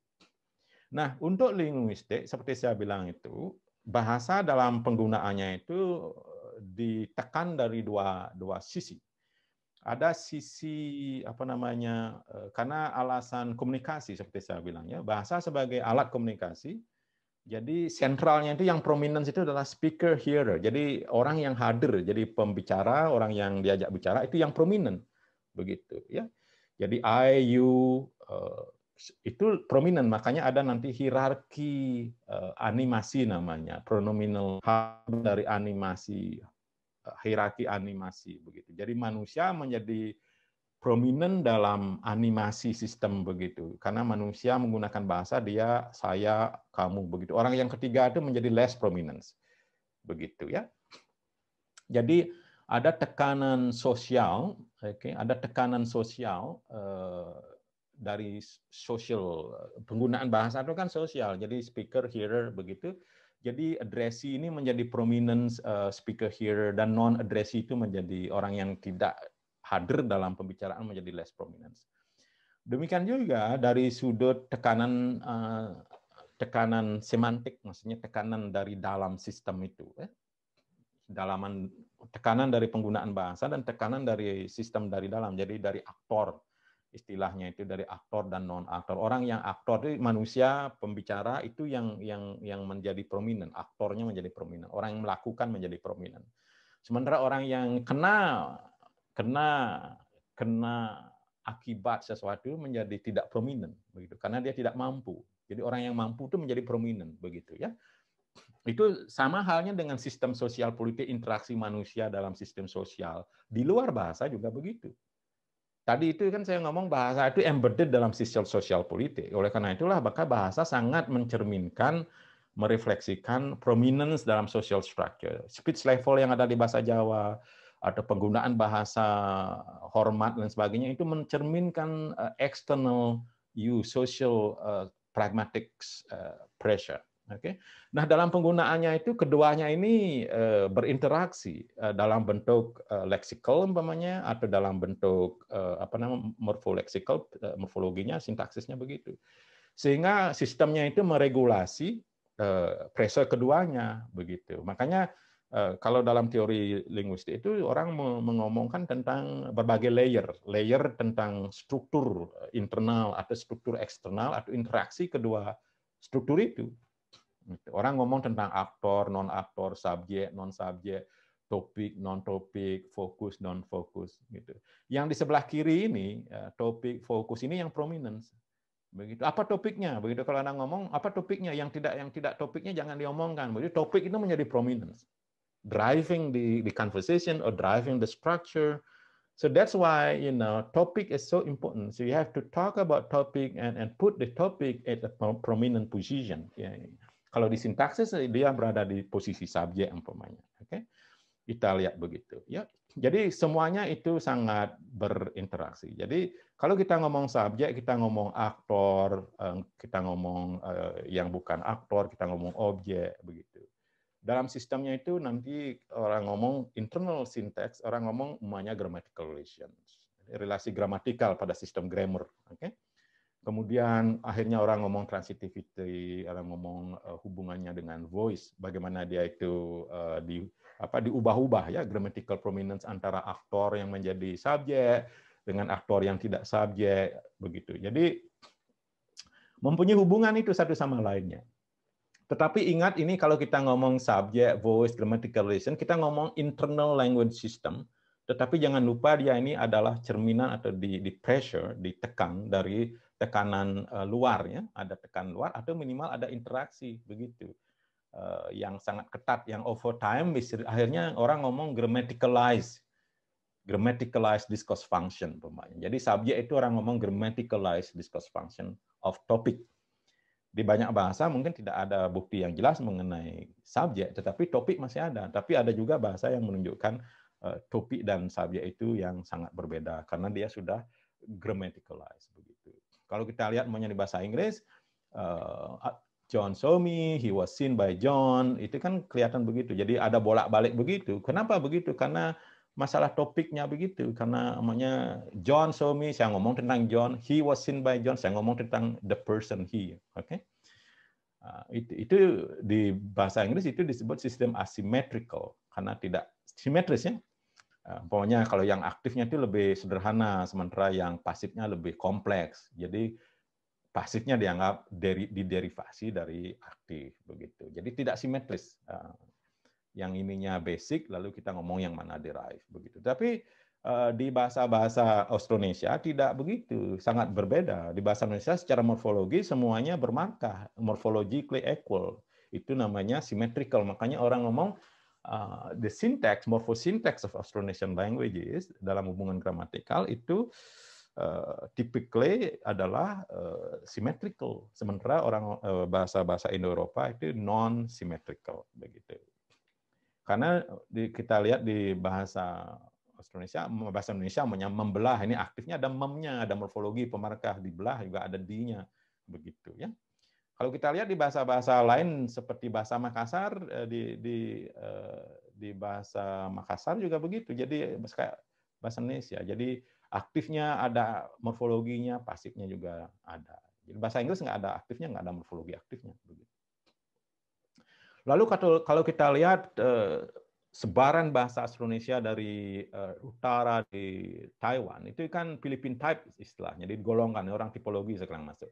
Kita golongkan mereka Philippine types karena mereka sama antara Taiwan dan Filipina kebanyakan sama begitu ya. Jadi morfologinya begitu. Sementara Indonesian type sudah berubah sedikit, ada pasifnya. Sementara di Philippine type itu tidak ada pasif. Di bahasa Indonesia sudah mulai ada pasif dan kayak di yang saya sebut tadi itu. Sementara di setelah dia bahasa Austronesia itu menyebar ke Indonesia Timur, ke Indonesia kemudian di Flores, morfologinya hilang semua itu. Nah ada lagi morfologi. Flores Tengah itu totally highly isolated, tidak ada morfologi lagi begitu.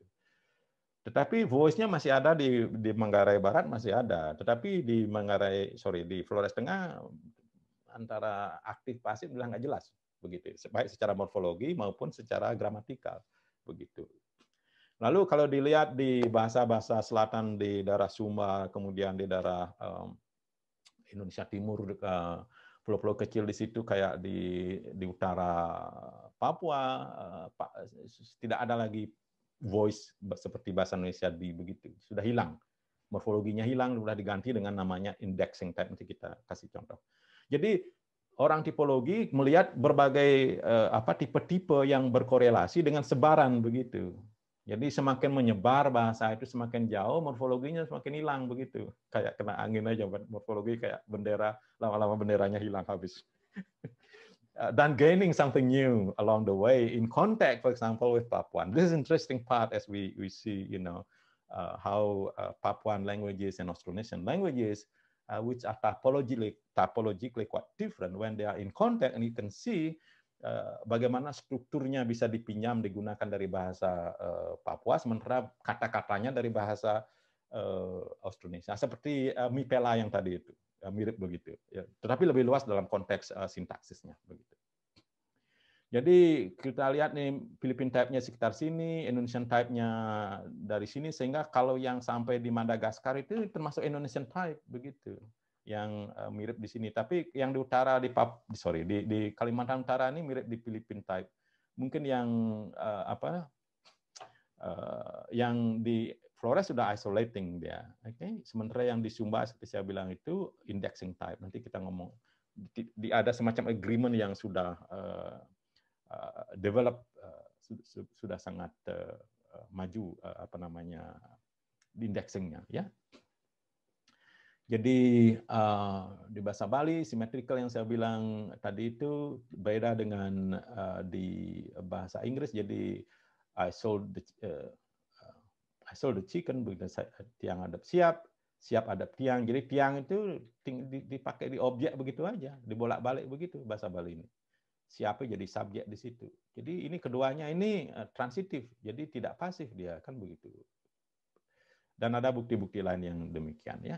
Nah masalahnya sekarang bagaimana bahasa ini kayak di bahasa di Flores Barat yang sudah morfologinya hilang, pasifnya sudah tidak ada. Tidak ada pasif. Voice morfologinya udah nggak ada. Namanya kata kerjanya sama aja. Ini tidak ada morfologi ya. Ada yang ada mengkritik-kritik seperti latuk. Aku cerok latung begitu.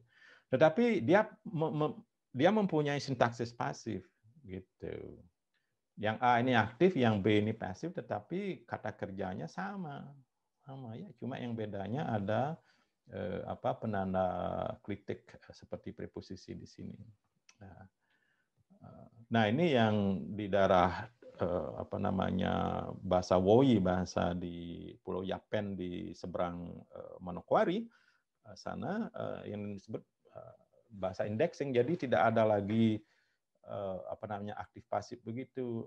Indexing jadi kata apa namanya subjeknya sudah muncul sebagai prefix di sini begitu mengindeks subjek subjeknya bisa di drop ya, bisa dihilangkan saja begitu.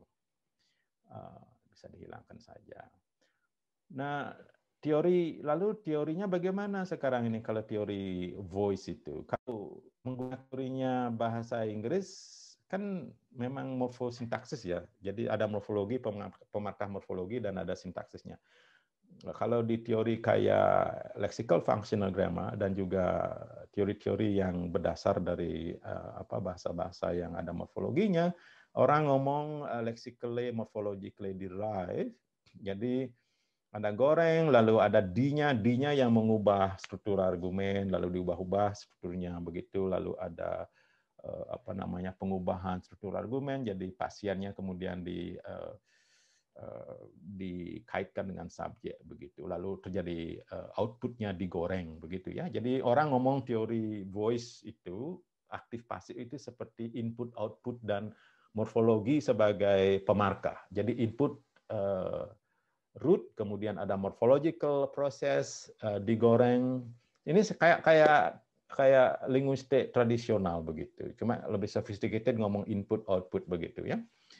Uh, tapi masalahnya kalau orang ngomong kalau datanya dari bahasa seperti bahasa Manggarai yang tidak ada morfologinya gimana input outputnya karena tidak ada mana yang basic secara morfologi yang yang yang derive ya itu menjadi uh, masalah begitu. Kalau itu teorinya bersandar pada uh, morphological marking atau uh, derivasi bersifat lexically based theory di mana lexical form itu diubah-ubah oleh oleh pemarkah morfologi. Mengalami tantangan ya. Itu teori lexical functional grammar juga mengalami tantangan. Begitu. Hal yang sama juga mungkin Chomsky's uh, linguistics uh, theory could uh, have a problem too. Uh, Oke, okay. kalau di teori uh, ini terjadi banyak variasi di teorinya Chomsky, tetapi inti dasarnya adalah juga menggunakan perubahan argumen struktur argumen itu dengan morfologi. Jadi ada umpamanya kayak kill itu aktif, killed ada ed-nya, past participle menyebabkan eh, apa pasiennya tidak bisa mendapat eh, apa abstract case umpamanya sesuatu sehingga dia harus pindah ke tempat di mana dia mendapat eh, case katakan. Case itu teori internal mechanism by which eh, dengan mana menyebabkan sesuatu berpindah ya ada movement apa pun namanya prinsipnya sama begitu ada sesuatu yang menyebabkan ke, sebuah verba kehilangan kemampuan untuk menyampaikan sesuatu kepada argumennya sehingga menyebabkan argumennya itu pindah dari suatu dari suatu posisi objek ke subjek. Tetapi kalau bahasa kayak bahasa eh, Manggarai atau bahasa Rongga atau bahasa di Flores itu yang tidak ada morfologinya tapi menyebabkan juga terjadinya voice attenuation itu menyebabkan eh, menjadi tantangan untuk eh, menjelaskan begitu ya. Eh, ini waktunya sudah sangat mepet. Saya ingin menyatakan bahwa kalau teori-teori lain, linguistik itu kan seperti saya bilang tadi itu ada ada schools-nya ya, ada, ada teori, ada kelompok-kelompoknya kayak di agama juga ada schools. Kalau Hindu ada kemudian kalau dulu kan Hindu kemudian menjadi pecah menjadi Buddha dan sebagainya. Di Islam juga begitu, Kristen juga begitu. Jadi ada branching-nya, ada pindah-pindah, pecah-pecah. Jadi lexical functional grammar dulu kayak Chomsky itu dulu adalah Eh, apa namanya mereka itu di, dari MIT ya pendiri dari lexical functional grammar itu uh, John Bresnan juga sama Chomsky itu satu dulu tahun 70-an di MIT kemudian pecah kemudian pecah gitu jadi uh, teori-teori uh, berbagai apa uh, teori untuk menjelaskan terjadinya aktif pasif tidak harus secara formal begitu ada juga yang kombinasi atau bersifat fungsional ya Tipologi orang biasanya bersifat fungsional melihat dari fungsi bahasa. Seperti saya bilang tadi itu, bahasa itu bagian dari internal system atau kita lihat bahasa sebagai berfungsi sebagai alat komunikasi driven by external forces seperti eh, apa namanya bahasa sebagai alat komunikasi sehingga bahasa itu embedded pada struktur uh, sosial begitu ya. Jadi melihat hubungan antara apa pressure dari social uh, pressure penggunaan bahasa itu uh, dan menyebabkan eh, terjadinya perubahan-perubahan atau terjadinya eh, interaksi dari berbagai layer structures begitu. Jadi teori kalau saya sekarang mengembangkan dan percaya bahwa kita tidak bisa hanya melihat internal system dari bahasa itu.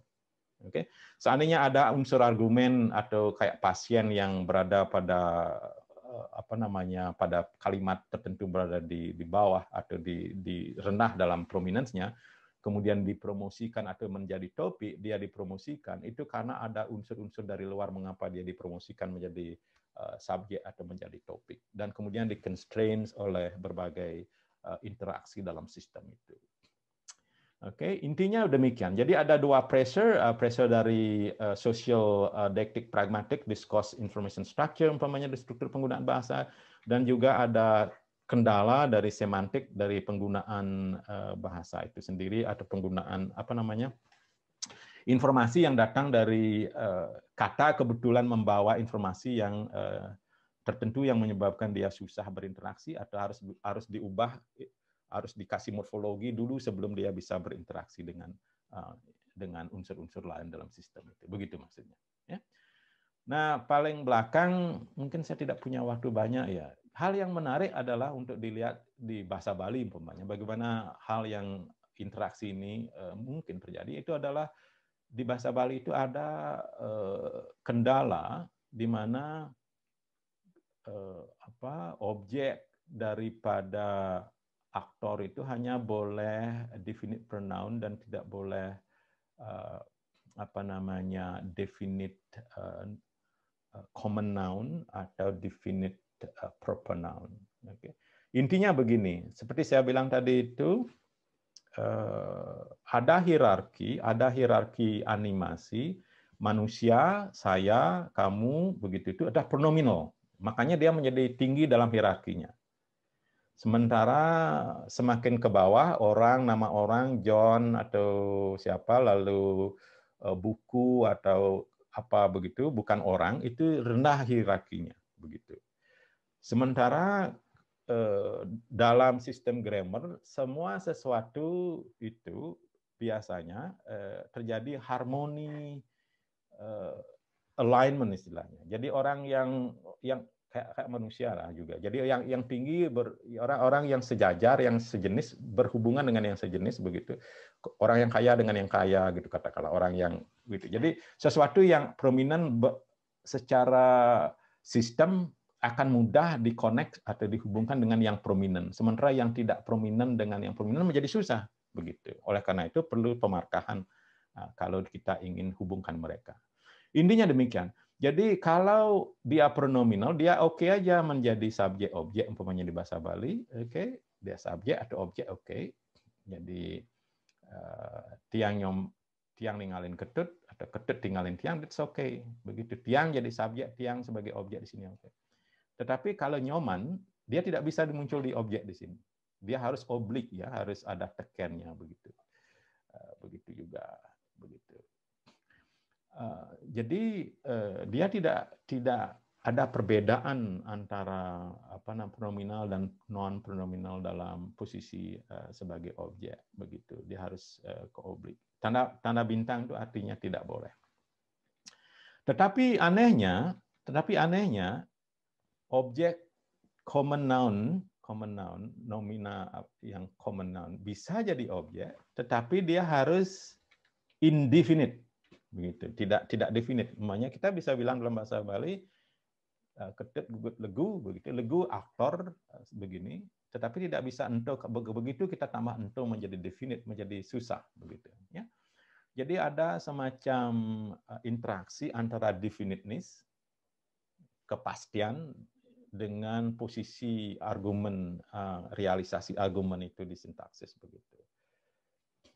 Nah, ini susah sekali menjelaskannya uh, dan sudah menjadi kontroversi dan teori-teori uh, linguistik dan penelitian-penelitian mengenai hubungan kedefinitan, hubungan kedefinitan, sesuatu yang definit, yang tidak definit, kategori nomina apakah dia pronomina atau non pronomina Eh, dan bagaimana realisasinya dalam realisasinya dalam uh, argumen dari berbagai bahasa menjadi topik yang menarik across languages dan kalau anda baca-baca literatur sangat menarik dan dan di sini kita lihat interaksinya itu uh, begitu. Jadi uh, yang ingin saya sampaikan dalam waktu singkat ini adalah uh, promin, apa namanya melihat ini sebagai interaksi tekanan yang saya bilang dari tadi itu ada aspek Uh, subjectualization uh, pressure dari penggunaan bahasa di satu sisi, uh, pragmatically, syntactically, semantically motivated begitu.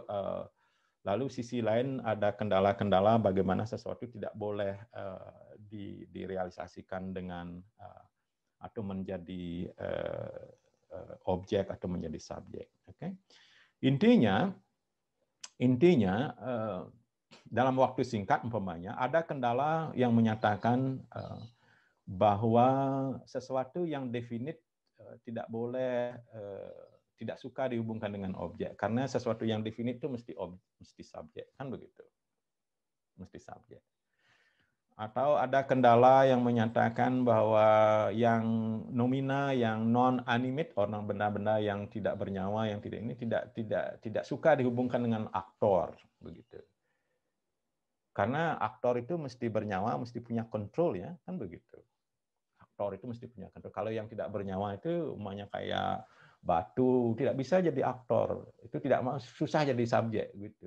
Harus menjadi uh, objek. Jadi interaksi berbagai uh, kendala itu um, menyebabkan hal yang terjadi di bahasa Bali ini. Dalam waktu singkat begini, saya pikir ini sangat rumit, tetapi inti yang ingin saya sampaikan adalah bahwa interaksi antara kendala-kendala. Jadi kendala-kendala dalam bahasa itu, constraint itu ada muncul dari language internal system. Dan masing-masing kendala itu di ranking ya. Kita ada penjelasan salah satu namanya eh, optimality theory, teori yang menjelaskan bahwa eh, kendala bahasa itu eh, tidak harus dipatuhi, bisa dilanggar. Dan masih tetap oke. Okay. Kalaupun Anda melanggar, masih tetap oke. Okay. Kalau pelanggarannya minor begitu intinya, kayak manusia lah. Jadi kalau kalau dalam dalam traffic kalau ada ada ada sesuatu yang bisa dilanggar asal minor begitu. Kalau ada ada kendalanya sendiri di ranking highly ranked constraints constraint itu yang tidak boleh dilanggar. Kalau highly ranked dilanggar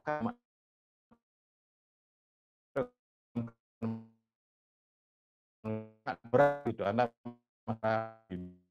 enggak katakanlah tinggi dilanggar. Kalau yang minor boleh begitu. Jadi intinya begitu.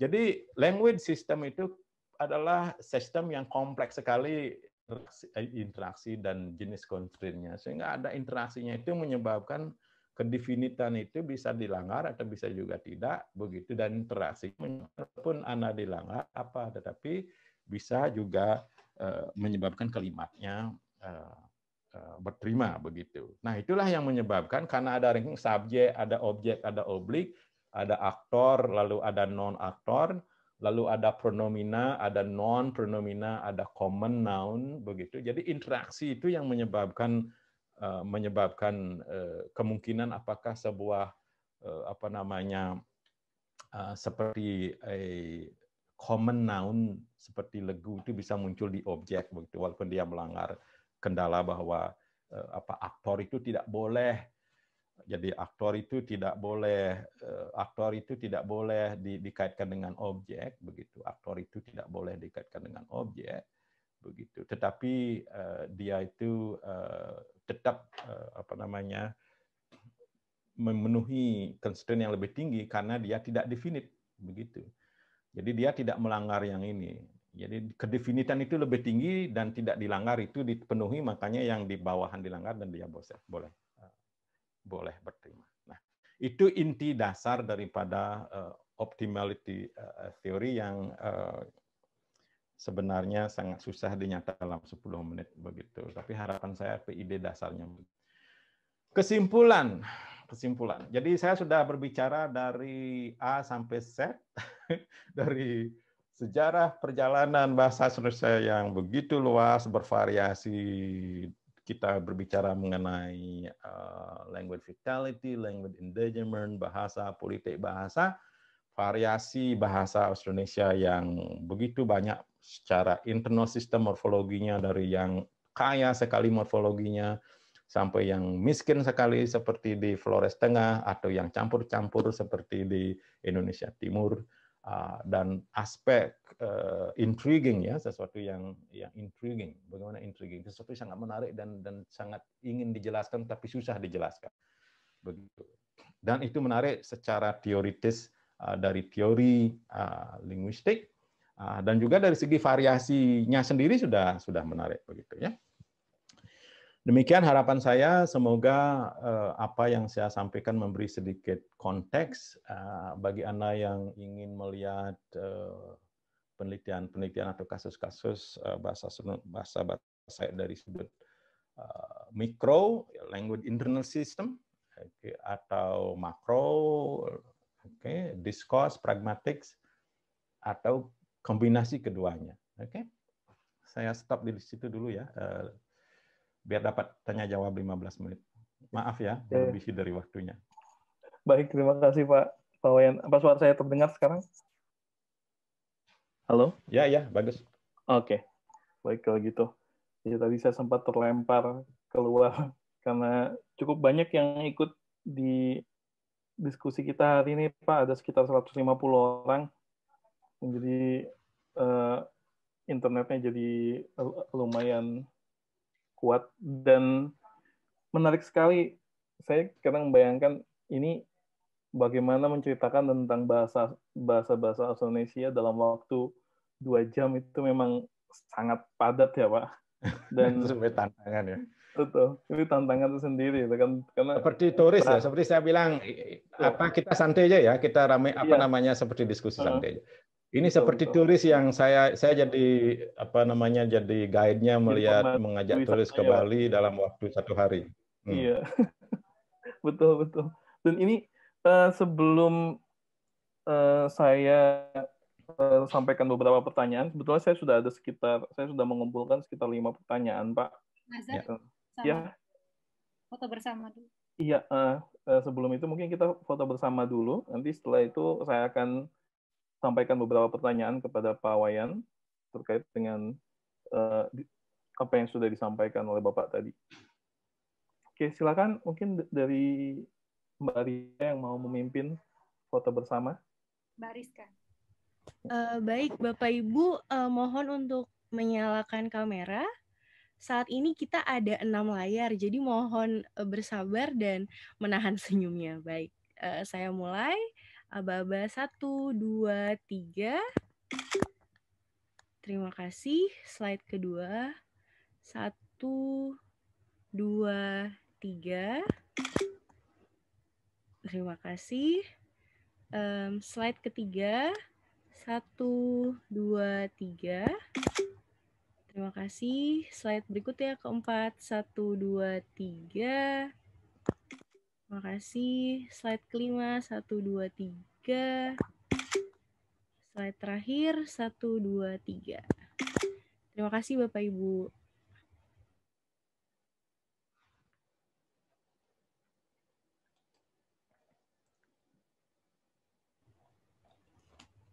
Ya, sudah. Silakan Bapak Nazar.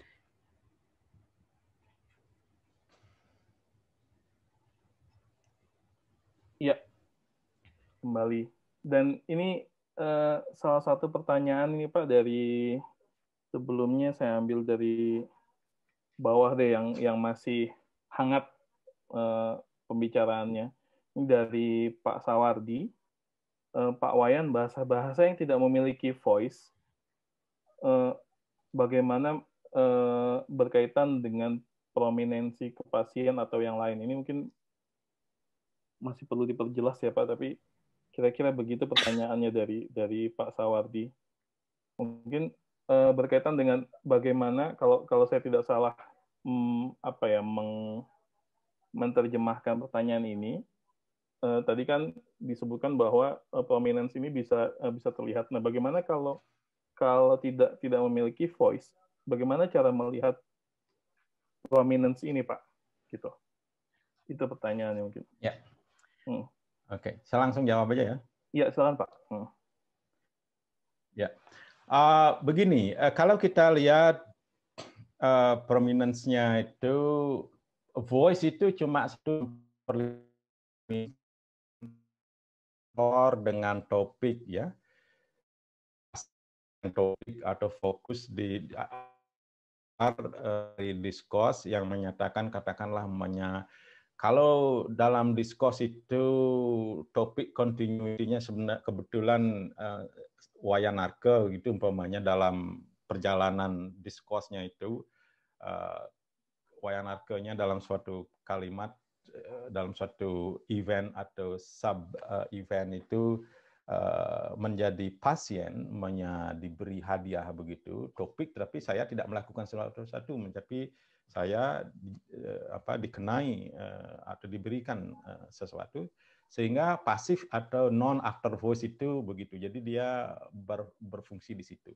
Itu satu. Sehingga terjadi istilahnya alternasi argumen. Jadi realisasinya berubah-ubah Eh, di satu sisi pasiennya jadi subjek, di sisi lain aktornya jadi subjek. Begitu. Ada ada kemungkinan variasi. Tetapi di bahasa-bahasa Indonesia Timur, bahasa Indonesia Timur atau di bahasa Sumbawa seperti umpamanya bahasa um, atau di bahasa-bahasa Indonesia Tenggara Timur di situ, uh, prominence-nya kelihatan di situ juga, tetapi dia tidak dalam bentuk voice begitu. Jadi cuma dibawa ke depan aja, istilahnya topicalize begitu. Kalau kita lihat word ordernya, jadi prominence kelihatan pada level eh, sebab prominence itu kan macam-macam eh, word order juga salah satu prominence. Jadi kalau di bahasa Indonesia yang ada voice pasifnya itu, pasifasisasinya itu, pasifnya itu word ordernya juga kelihatan prominence-nya, eh, pasiennya menjadi subjek berada di depan verbal, dibawa ke depan, fronting istilahnya. Oke. Sementara kalau di bahasa Canberra atau di bahasa yang tidak ada ini bahasa Canberra ini bahasa di Sumba yang tidak ada pasifnya juga prominentnya begitu. Jadi pasif like kelihatan tapi bukan pasif. Secara gramatikal dia tidak pasif, tetapi prominence-nya sama dalam prominence discourse word ordernya itu sama. Itu. Jadi frame tidak ada voice motivated ada pada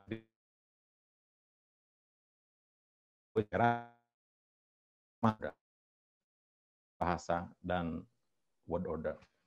Ada tekanan dari bawah seperti saya lihat tadi itu. Jadi ada dari lexical uh, pressure uh, yang digrammaticalize oleh sistem bahasa itu.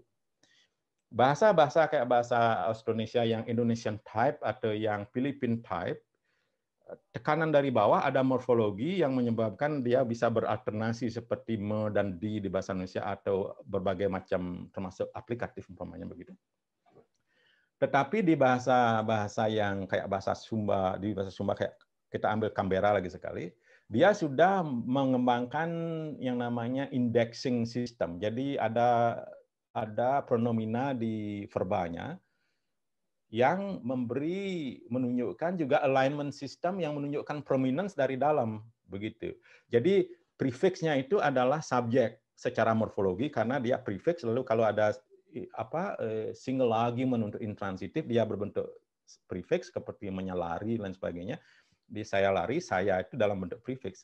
Kalau saya makan nasi, makan gitu namanya, atau saya memukul dia, jadi sayanya itu dengan saya lari, dengan saya makan dalam bentuk prefix begitu. Dan selalu dia subjek di situ. Jadi aktornya selalu di link ke ke subjek morfologi di verba dan tidak pernah berubah dan tidak pernah pasien itu muncul di situ begitu. Jadi sementara pasiennya muncul sebagai suffix atau enklitik. Itu.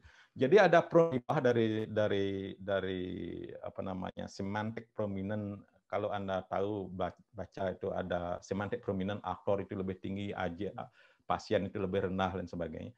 Jadi aktor selalu dihubungkan dengan subjek prefix di bahasa itu. Jadi bahasa itu tidak punya voice tetapi pressure dari bawah, prominence dari bawah tetap juga ada yang muncul di alignment system dari bahasa itu begitu. Jadi masih muncul prominentnya itu. Hmm. Sehingga juga ada split yang kalau you tahu itu ada namanya eh, apa namanya split intransitive. Split-split yang ada di tidak hanya di bahasa Indonesia, di bahasa-bahasa lain juga banyak kayak di bahasa Aceh, Aceh termasuk Indonesia di, di bahasa mana aja, you predict teori teori hmm. prominence yang saya bilang ini akan predict begitu, akan predict bahwa aktor itu akan muncul dengan subjek. Kalau dia fix, maka dia bahasa itu tidak punya sistem voice, tetapi hanya fix, gitu ya. Begitu Pak Sawardi. Ya. Baik, Pak. Dan ini ada pertanyaan dari Fierendiana dari Universitas dia menyebutkan bahwa dalam penjelasan tadi dikatakan bahwa alat penyebaran Filipin ke eh, atau utara ke selatan, barat dan timur. Nah, kebetulan orang tuanya adalah penutur bahasa Sangihe. Pertanyaannya, apakah memang benar ada pengaruh dari bahasa Tagalog bahasa Sangihe tersebut? Gitu, Pak. Pertanyaannya saya cenderung menyatakan itu bukan pengaruh inherit ya inherit hmm. jadi istilahnya kalau orang historical linguistik umpamanya kalau kesamaan bagaimana menjelaskan di bahasa Indonesia dengan ada sangihe atau bahasa bahasa di uh, apa namanya di Kalimantan Utara uh, itu yang menunjukkan fitur-fitur yang sama tidak hanya dalam pronominal system tetapi juga voice morfologi seperti yang voice morphology seperti yang saya omongkan tadi atau sintaksisnya sintaksisnya dan banyak hal lagi dalam sistem gramatikalnya. Sebenarnya dia tidak tidak eh, bahasa Tagalog tidak mempengaruhi bahasa bahasa bahasa Austronesia. Jadi penjelasannya bahasa Tagalog adalah keturunan, jadi descendant dari uh, the same uh, you know bahasa, jadi masih kekerabatan. Begitu. Uh, jadi eh, umumnya kalau bagaimana menjelaskan saya dengan adik saya itu hidungnya mirip gitu, itu adalah hmm. keturunan, jadi keturunan dari ayah, jadi hidungnya begini, kalau mukanya gini, jadi you could see the difference or similarities tetapi you tidak bilang mempengaruhi saya, mempengaruhi dia, ini, ini mungkin mempengaruhi. Jadi kalau yang mempengaruhi kalau ini yang mudah dilihat ya, umpamanya bagaimana bahasa Belanda mempengaruhi bahasa Indonesia, begitu. Itu Hmm. ya. Tetapi dalam konteks belakangan memang akan akan muncul namanya kayak rasa kata. Jadi ada penyebaran dari barat ke timur, dari Sulawesi ke selatan lurus begitu di Manggarai sehingga ada pengaruh leksikal. Kita bisa lihat banyak keraeng. Jadi kita tahu bahwa eh, itu ada gelombang turun ke bahasa apa namanya pengaruh. Nah, di sini kita bisa bilang pengaruh ya. Jadi dulu zaman dulu sekian ribu tahun yang lalu ada bahasa Austronesia sudah nyampe di eh, di Flores. Kemudian ada gelombang belakangan dalam per- per- perjalanannya titel-titel kayak keraeng itu muncul dalam strata politik mungkin orang bawa ke, ke belakang kapan dia munculnya begitu. Lalu setelah muncul lalu kerajaan di Sulawesi Selatan menguasai eh, eh, Manggarai. Kemudian kerajaan Bima menguasai sehingga bahasa Bima ada mempengaruhi juga setelah bahasa Bima berkembang sebagai bahasa, bahasa eh, Makassar berkembang sebagai bahasa lalu mempengaruhi bahasa Manggarai sehingga ada yang demikian. Nah, di situ baru mungkin kita bisa ngomong eh, mempengaruhi ya. Cuma kita kan ngomong di sini sekarang abstrak ini. Kita ngomong Ya, teori secara betul, betul. abstrak.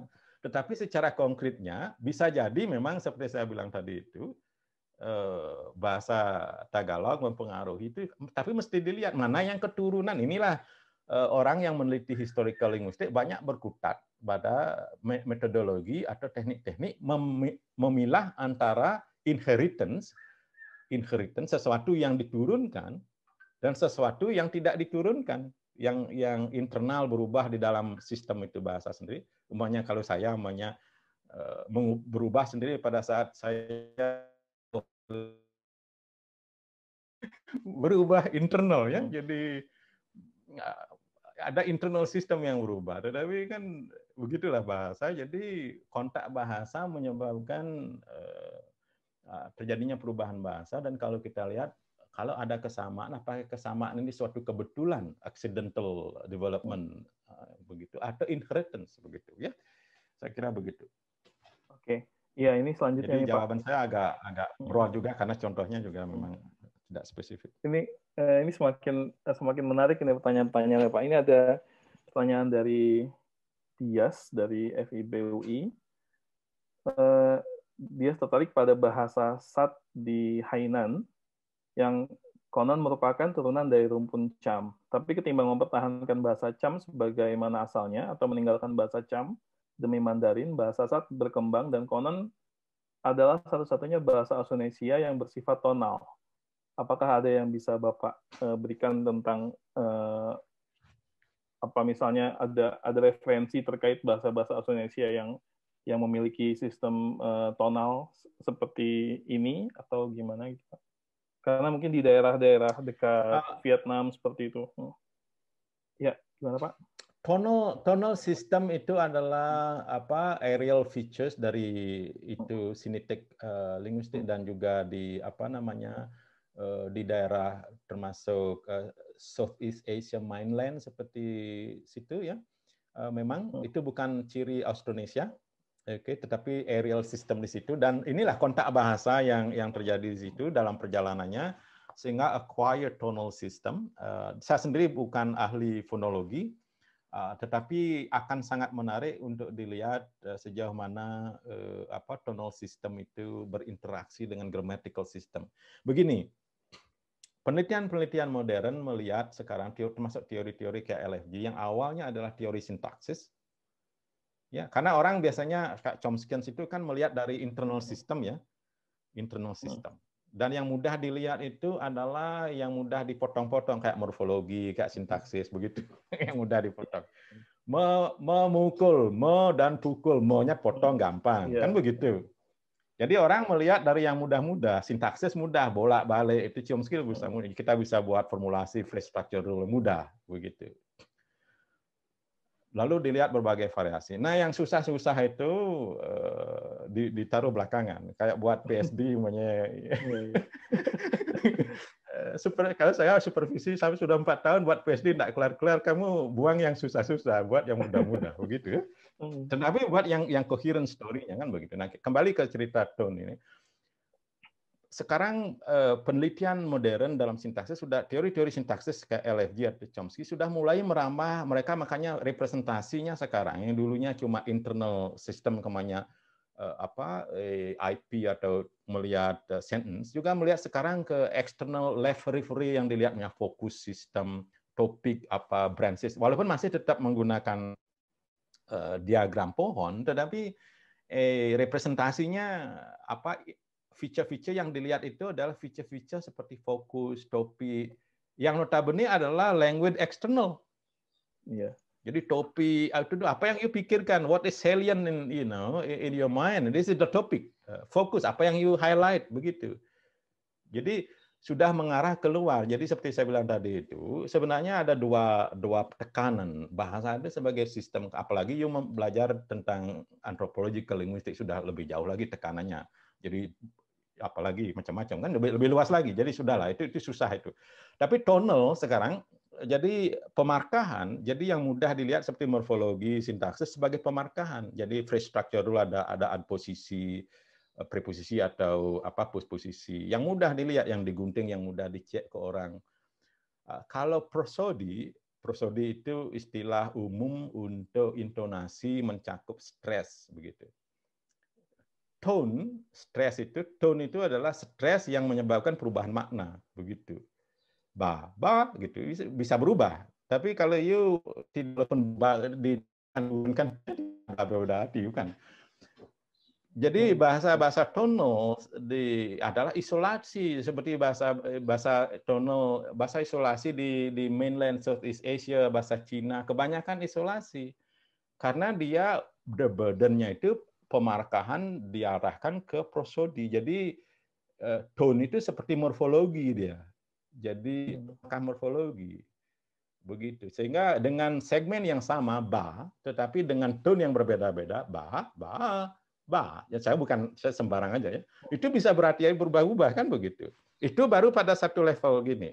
Tetapi sekarang kalau bagaimana silabel bergantung dengan silabel seperti Eh, kata dengan kata, eh, kalimat dengan apa namanya frasa. Jadi akhirnya orang ngomong eh, prosodic structures yang lebih luas. Makanya ngomong tentang eh, intonasi, eh, ya, ngomong tentang yang lain sebagainya, yang terkait yang susah sekali dipotong-potong begitu. Dan ini tren sekarang melihat eh, itu itu sebenarnya bukan asli Austronesia karena seperti hmm. kita tahu Austronesia itu sangat kaya morfologi betul betul Uh, sehingga terjadi gini. Kalau mau membandingkan tonal system itu ada di bahasa Papua ada yang tonal sehingga di di uh, bahasa Austronesia di kepala burung uh, di sekitar dan di apa di di bawah burung yang gini di situ tuh ada interaksi antara tonal system dengan uh, apa dengan antara bahasa Papua dan Austronesia.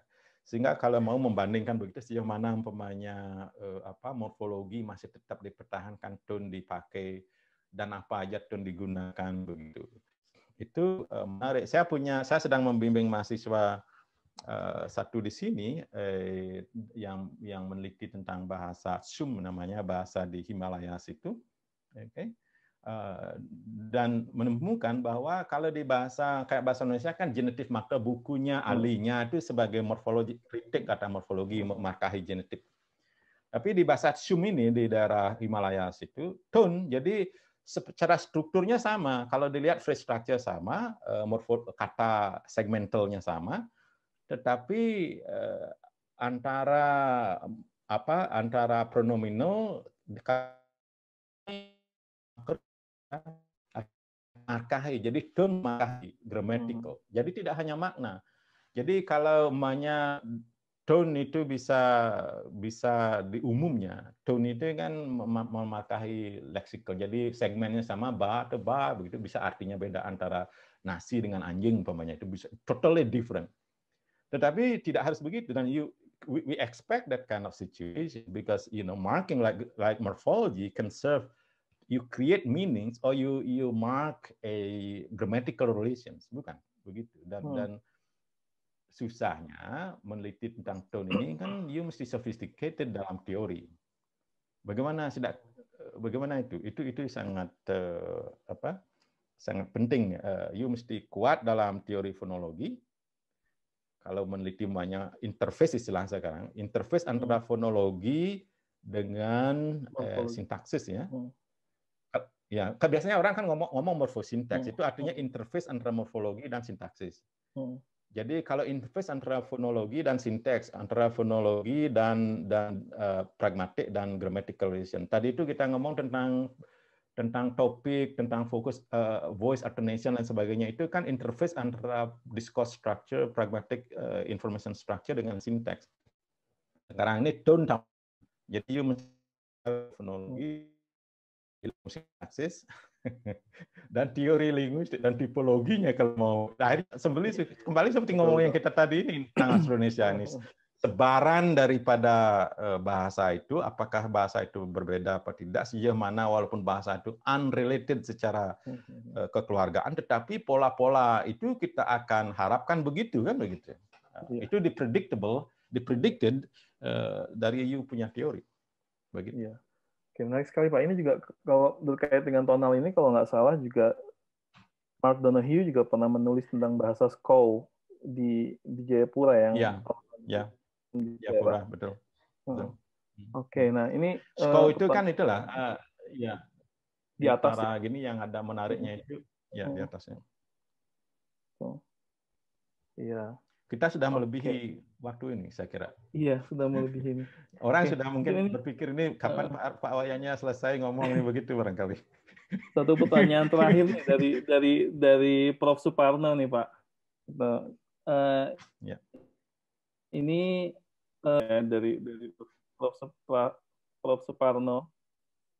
Uh, ya. Dari paparan begitu panjang, layak disimpulkan bahwa linguistik merupakan ilmu yang sangat penting dan bermanfaat. Nah, paparan begitu panjang, apakah di prodi, di prodi linguistik di Australia layak disimpulkan bahwa bahwa, bahwa linguistik merupakan politik paket bukan di banyak karena di, di Indonesia sendiri ilmu halo?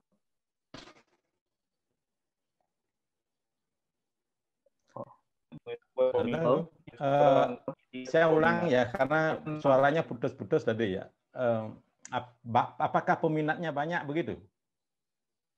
Prodi linguistik apakah peminatnya banyak begitu Iya, iya Pak. Begitu. Linguistik itu kan luas. Kalau linguistik secara umum, karena di departemen linguistik kalau kita di New di Australian National University linguistik itu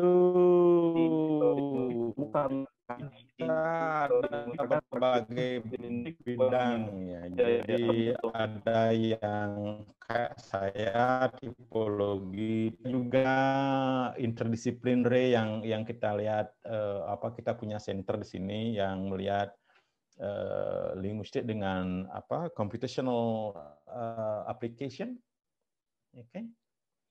Uh, kita sesungguhnya kalau di total berbagai branches subfields linguistik begitu, karena kita berbagai gini, berbagai apa namanya punya berbagai uh, expertise uh, dan masa table seperti umpamanya uh, orang eh apa di jurusan seperti di bisnis begitu yang banyak-banyak mahasiswanya ya. Uh, atau di uh, gini kita stable dalam dalam uh, pengertian kita sudah cukup sibuk untuk menangani berbagai pengajaran linguistik termasuk dapat beasiswa tapi belum tentu mau dibimbing. Kita juga tidak cari mahasiswa banyak-banyak begitu karena kita punya limit untuk uh, untuk mendidik orang kan begitu. Uh, jadi uh, peminatnya lumayan juga masih stable. Uh, saya pikir uh, uh, ambil sampai advance kayak pada PSD itu kan datang dari berbagai apa namanya interest atau berbagai bidang seperti saya bilang tadi. Saya punya mahasiswa yang pernah saya bimbing eh, terkait dengan proyek eh, apa computational uh, grammar development of Indonesian. Uh, saya punya EAC project tentang uh, apa penggunaan uh, mendevelop corpus base dan sebagainya itu uh, begitu dia selesai dia datang dari orang dari linguistik dan computer science memang base-nya. Sehingga dia dia, dia langsung uh, kerja. Kalau di Indonesia ya pengalaman ya eh, basic linguistik ya saya, saya kan berinteraksi banyak dengan di di uh, di Udayana uh, dan teknologi dan sebagainya itu mesti mesti core baru kemudian yang yang lain. Um, begitu. Mungkin saya menjawab agak melebar sedikit, tapi sebagai gambaran uh, bahwa untuk bisa membuat linguistik itu useful, bagaimana berkolaborasi dengan orang lain yang terkait dengan bahasa kan begitu eh, aspek kebahasaan untuk bisa connect itu seperti saya bilang tadi. Uh, jadi language as internal system bagaimana sistem research uh, atau documentary language itu kan beramah macam-macam. Jadi baik itu membantu masyarakat untuk mempertahankan bahasanya, baik itu membuat membantu masyarakat untuk membuat buku aja apps-nya sudah ada sih dilakukan orang tapi ini terkait dengan berbagai macam apps eh, karena mobile teknologi yang begitu merambah sampai ke daerah-daerah terpencil maka adakah baiknya sekarang dokumentasi bahasa apa pun yang kita lakukan bisa dibangun uh, dan murid A tahu tentang teknologi tentang itu B juga punya background mengenai pengajaran kan begitu. Uh, pembuatan teaching material development pemainnya begitu. Um, pokoknya tetapi juga mau interest apa namanya bisa diajak ke Nasar out mungkin. Gimana? Halo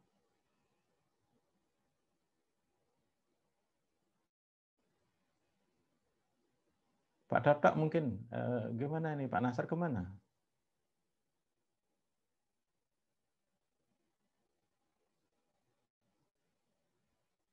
Saya tidak dengar. Pak Pak Doda, uh, unmute uh, gininya, uh, buka mic-nya. Ibu gimana, Bu? Uh,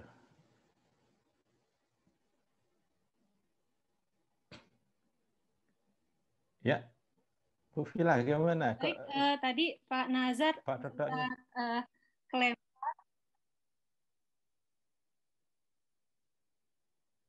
uh, Selanjutnya mungkin dari Pak Toto. Sudah mungkin pusing mendengarkan saya ngomong terus. Menarik sekali Pak. Uh, terutama di bagian-bagian akhir ini uh, yang saya ingat tadi yang susah-susah jangan dibuang. Begitu. Ya susah-susah jangan dibuang. Ini kan ini sebagai informasi saya sangat senang bicara linguistik berjam-jam cuma saya khawatir orang yang mendengarkan sudah pusing dan tidak mau dengar lagi. Tidak Pak, menarik sekali. Apa namanya? Buat saya sangat menarik. Cuma, cuma yang terakhir ini Pak, jadi apa? Jadi buat kalau ada yang berbicara atau bertanya langsung dengan mukanya kelihatan mungkin lebih bagus ya. Kita bicara seperti bicara dengan komputer, memang dengan komputer sih ini sebenarnya. Kita bicara dengan orang yang hanya ada kepala dan dan badannya setengah, kakinya nggak ada terus. Ya. Baik, uh, saya coba uh, unmute Toto ya. Oke. Okay. Oke, okay, maaf, uh, saya saya tidak bisa unmute. Jadi iya. sudah bicara, per, tetap saya tidak bisa keluar. Maaf Pak Wayan ya.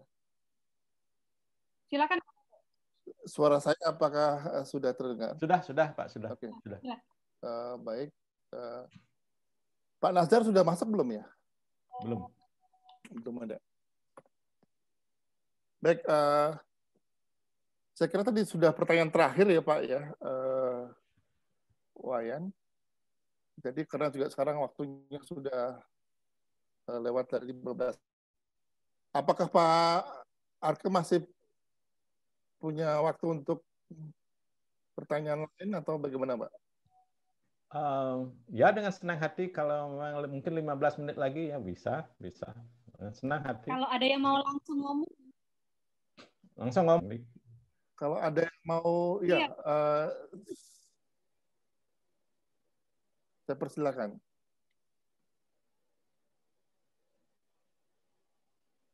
Mungkin sudah payah, mungkin Pak. Baik, kalau Kita aja, uh, saya aja bersemangat, mungkin orangnya sudah. kalau tidak ada lagi ya, uh, saya kira ini uh, kuliah yang sangat menarik ya. Kita tadi Sebentar. Suara saya kok feedback ya, balik lagi kembali ya. Saya tidak dengar begitu, biasa saya dengar Pak. Oh biasa ya. Oke baik, saya akan bicara saja kalau gitu. Uh, baik, uh, terima kasih uh, Pak Wayan ya atas waktu dan kesempatannya. Saya kira ini adalah satu kesempatan yang sangat berharga buat kami untuk belajar dari Pak Wayan ya uh, tadi kita sudah diajak melanglang buana mulai dari Taiwan, Madagaskar ya ke Pasifik ya untuk melihat bagaimana keberagaman uh, apa namanya bahasa-bahasa Australia dan di akhir-akhir perbincangan kita tadi bahkan sudah masuk ke eh, perihal-perihal uh, teori yang mungkin uh, apa namanya terkait dengan perkembangan linguistik terkini. Jadi uh, ini kuliah yang luar biasa buat uh, kita semua, saya kira ya. Terima kasih sekali lagi atas waktu yang diberikan oleh uh, Prof. Iwan Arka. Uh, saya berharap mudah-mudahan Prof. Arka masih berkenan kalau misalnya kami undang lagi dengan kami ya uh, para pejuang linguistik, ya, saya katakan pejuang linguistik di Indonesia ya, agar Eh, pengetahuan kami ya, eh, di Indonesia juga dapat uh, meningkat ya, dan bisa juga melakukan kajian-kajian yang lebih baik dari apa yang sudah kami lakukan saat ini. Baik, uh, saya kira sebelum saya menutup, mungkin saya persilahkan pada Pak Wayan untuk membuat semacam closing remarks atau penutup kata penutup silakan Pak untuk kuliah ini. Uh, Oke, okay, terima kasih ya uh, atas uh, waktunya yang sudah lama ini apa namanya dua jam mungkin ya. Dan terima kasih atas undangannya dan senang sekali berbicara uh, tentang linguistik Austronesia uh, dari A sampai Z uh, dari berbagai aspek. Dan saya sendiri sangat tertarik dengan berbagai aspek linguistik. Sebenarnya walaupun saya apa namanya um, di train sebagai syntactician ya, theoretical linguistics, tetapi dalam perjalanannya saya merambah perjalanan saya merambah berbagai aspek linguistik uh, dan kita membutuhkan anak-anak muda ini saya kita itu di Indonesia itu sepersepuluh ya. Sepersepuluh eh, sepuluh persen dari bahasa di dunia dengan variasi seperti saya bilang tadi itu. Tipologinya begitu luas banyak eh, konteks eh, sosiolinguistik kontak bahasa multilingualism sejarah yang panjang benarnya yang bisa me menelorkan atau menyebabkan uh, kita semua ini bisa belajar banyak mengembangkan teori-teori. Kita harap nanti uh, ada orang-orang yang mengutip uh, karya kita, ketimbang kita mengutip karya mereka. Jadi kita we are sitting untuk uh, merambah berbagai aspek perlinguistikan. Uh, harapan kita muncul uh, karya-karya uh, yang bisa uh, mempunyai impact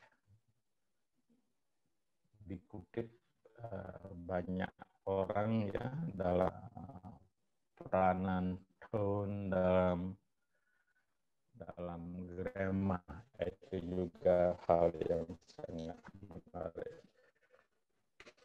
Dan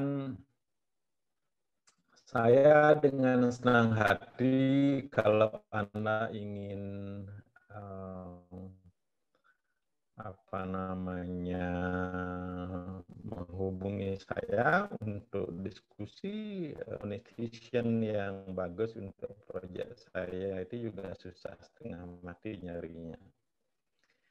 Jadi walaupun sudah dapat sekarang saya masih berpikir uh, belum dapat uh, output kerjanya sebenarnya saya ingin tahu.